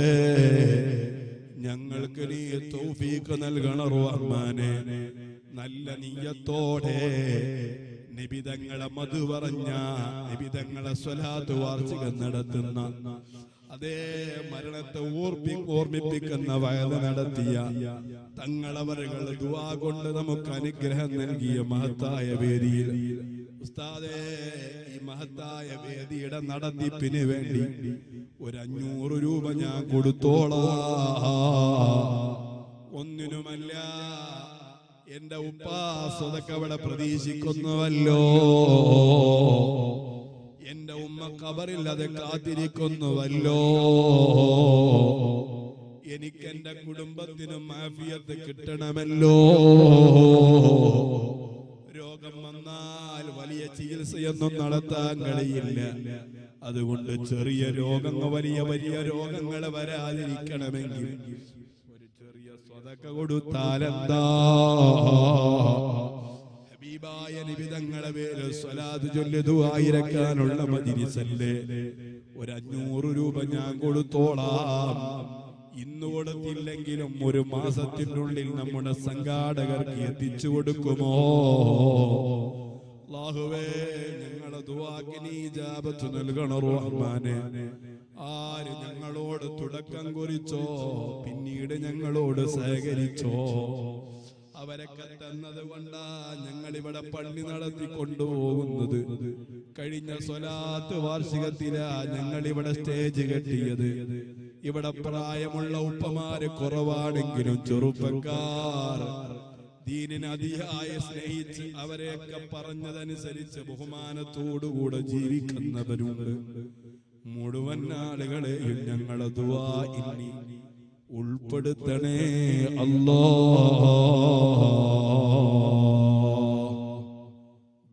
സയ്യിദിനാ മുഹമ്മദിൻ നല്ല നീയത്തോടെ എനിക്കതിന് ഫലം കിട്ടും എന്ന് ഉറപ്പോടെ വലുതൊന്നും ഞാൻ ചോദിച്ചിട്ടില്ല. വെറും ഒരു അഞ്ഞൂറ് രൂപ ഒരു മാസത്തിന്റെ ഉള്ളിൽ ഉസ്താദ് ഞാൻ കൊടുത്തോളാം. എന്താ പേര്? മുഹമ്മദ് അലിക്ക് അള്ളാഹു ആഫിയത്ത് കൊടുക്കട്ടെ. ഒരു പേനി ഒരു കടലാസ് കൊടുത്ത് നിർബന്ധമായിട്ട് വേഗം.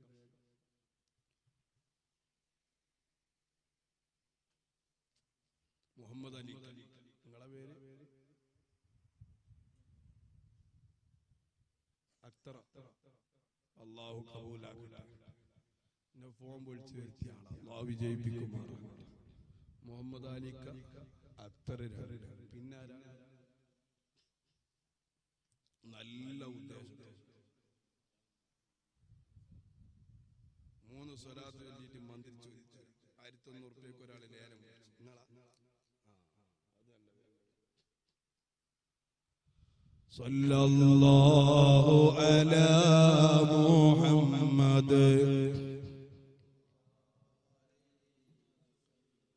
صلى الله على محمد.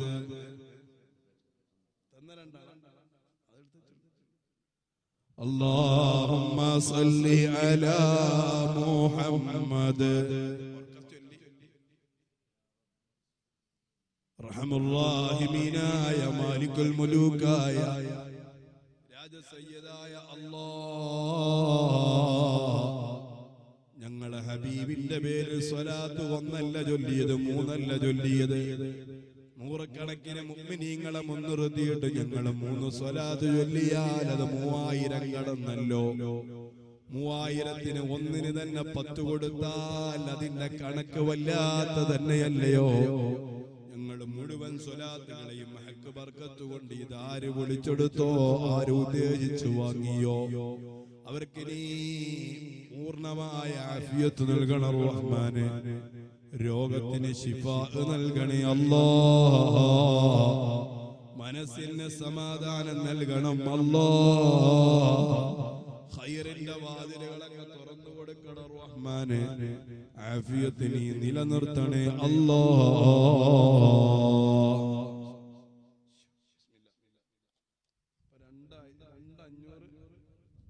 തന്നതാണ്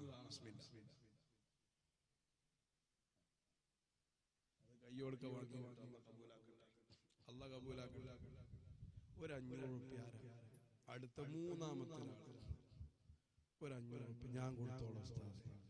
വിഷമുള്ളവർ പറയും. നല്ല നീയത്തിലായിരിക്കും. നമുക്കും ഒരു ജീവിതം വരാനുണ്ട് അന്നൊക്കെ റസൂലുള്ളാന്റെ പേരിൽ സ്വലാത്ത് ചൊല്ലിയ മജ്ലിസിൽ ഒരു അഞ്ഞൂറ് ഞാൻ കൊടുത്തിട്ടുണ്ട്. ഹബീബായ തങ്ങളെ പൊരുത്തം എനിക്ക് കിട്ടണം കടങ്ങളെ കൊണ്ട് മാറിക്കിട്ടും. ആരുടെങ്കിലും ഒരാളെ ആമീ സ്വീകരിച്ചാൽ അത് വലിയൊരു ഭാഗ്യം തന്നെയല്ലേ എന്നൊക്കെ നീയത്തിൽ കരുതി. നല്ല ഉദ്ദേശത്തോടു കൂടി അപകടങ്ങളെ തട്ടി നീക്കാൻ മാറാ രോഗങ്ങളിൽ നിന്ന് കാവലി ലഭിക്കാൻ ഒരു അഞ്ഞൂറ് രൂപ അള്ളാഹു ആര് സഹകരിക്കുന്നു അവർക്കൊക്കെ ഇവിടെ ഒരുമിച്ച് കൂടിയ മുഴുവൻ മുഖിനികളും കാവൽ നൽകുമാറാകട്ടെ താജുല്ലുലമയുടെ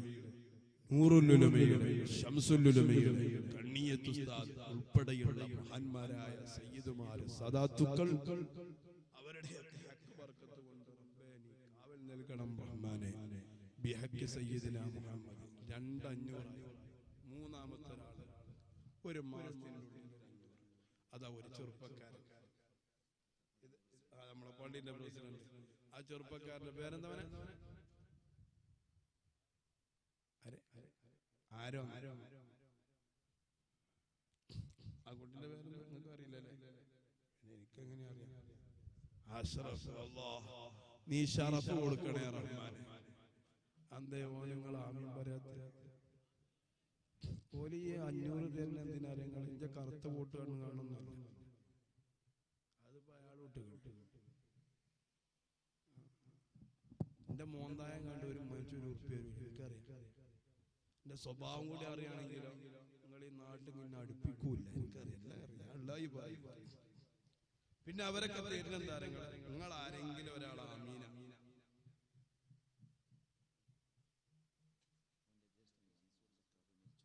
മരണപ്പെട്ടു പോയ മൂത്ത സഹോദരൻ. അദ്ദേഹത്തിന്റെ കുട്ടിയാണ്.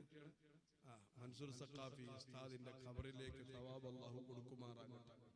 അള്ളാഹുവിനെ ഖബർ സന്തോഷത്തിലാക്കണേ ദറജ ഉയർത്തണേ അല്ലാഹ്. റഹ്മാനായ റബ്ബേ മഗ്ഫിറത്തിന്റെ കവാടം തുറന്നു കൊടുക്കണേ റഹ്മാനെ. അള്ളാഹുവെ ജീവിതത്തിൽ ചെയ്ത മുഴുവൻ ഹസനാത്തും നീ കബൂലാക്കണേ അല്ലാഹ്. താജുലുലമയോടൊപ്പം നൂറുലുലമയോടൊപ്പം കണ്ണിയത്തുസ്താദ് പാണക്കാട് തങ്ങൾ ഉൾപ്പെടെയുള്ള സാദാത്തുക്കളോടൊപ്പം സ്വർഗലോകത്ത് നബി മുഹമ്മദ് മുസ്തഫ. നിബിതങ്ങളെ ചാരത്തിൽ നീ ഒരുമിച്ച് കൂട്ടണേ റഹ്മാനെ. സ്വതക്ക തന്ന അദ്ദേഹത്തിനും അദ്ദേഹത്തിന്റെ കുടുംബത്തിനും മാതാപിതാക്കൾക്കൊക്കെ അതിന് ഭാഗ്യം നൽകണേ അള്ളാഹ്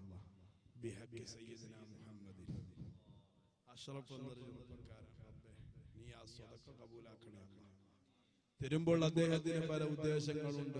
എല്ലാമുൽ ഗുയൂബായ അല്ലാഹ് നീ പൂർത്തീകരിച്ചു കൊടുക്കണേ അള്ളാഹ് അദ്ദേഹത്തിന്റെ പരീക്ഷകളിലൊക്കെ നീ വിജയം കൊടുക്കണേ അള്ളാഹ് അവർക്കൊക്കെ നീ പൂർണ വിജയം നൽകണേ റഹ്മാനെ. ഒരു കാലത്തും എവിടെയും നീ പരാജയപ്പെടുത്തല്ല അല്ല. മഹാന്മാരുടെ കാവൽ ജീവിതത്തിലുടനീളം നൽകണേ അല്ല. തൊട്ടതെല്ലാം പൊന്നാക്കാനുള്ള അവസ്ഥയും അവസരവും നീ നൽകണേ റഹ്മാനെ. അള്ളാഹുവെ മാതാപിതാക്കളെ പൂർണ പൊരുത്തം അവർക്ക് നീ നൽകണേ അള്ളാഹ്.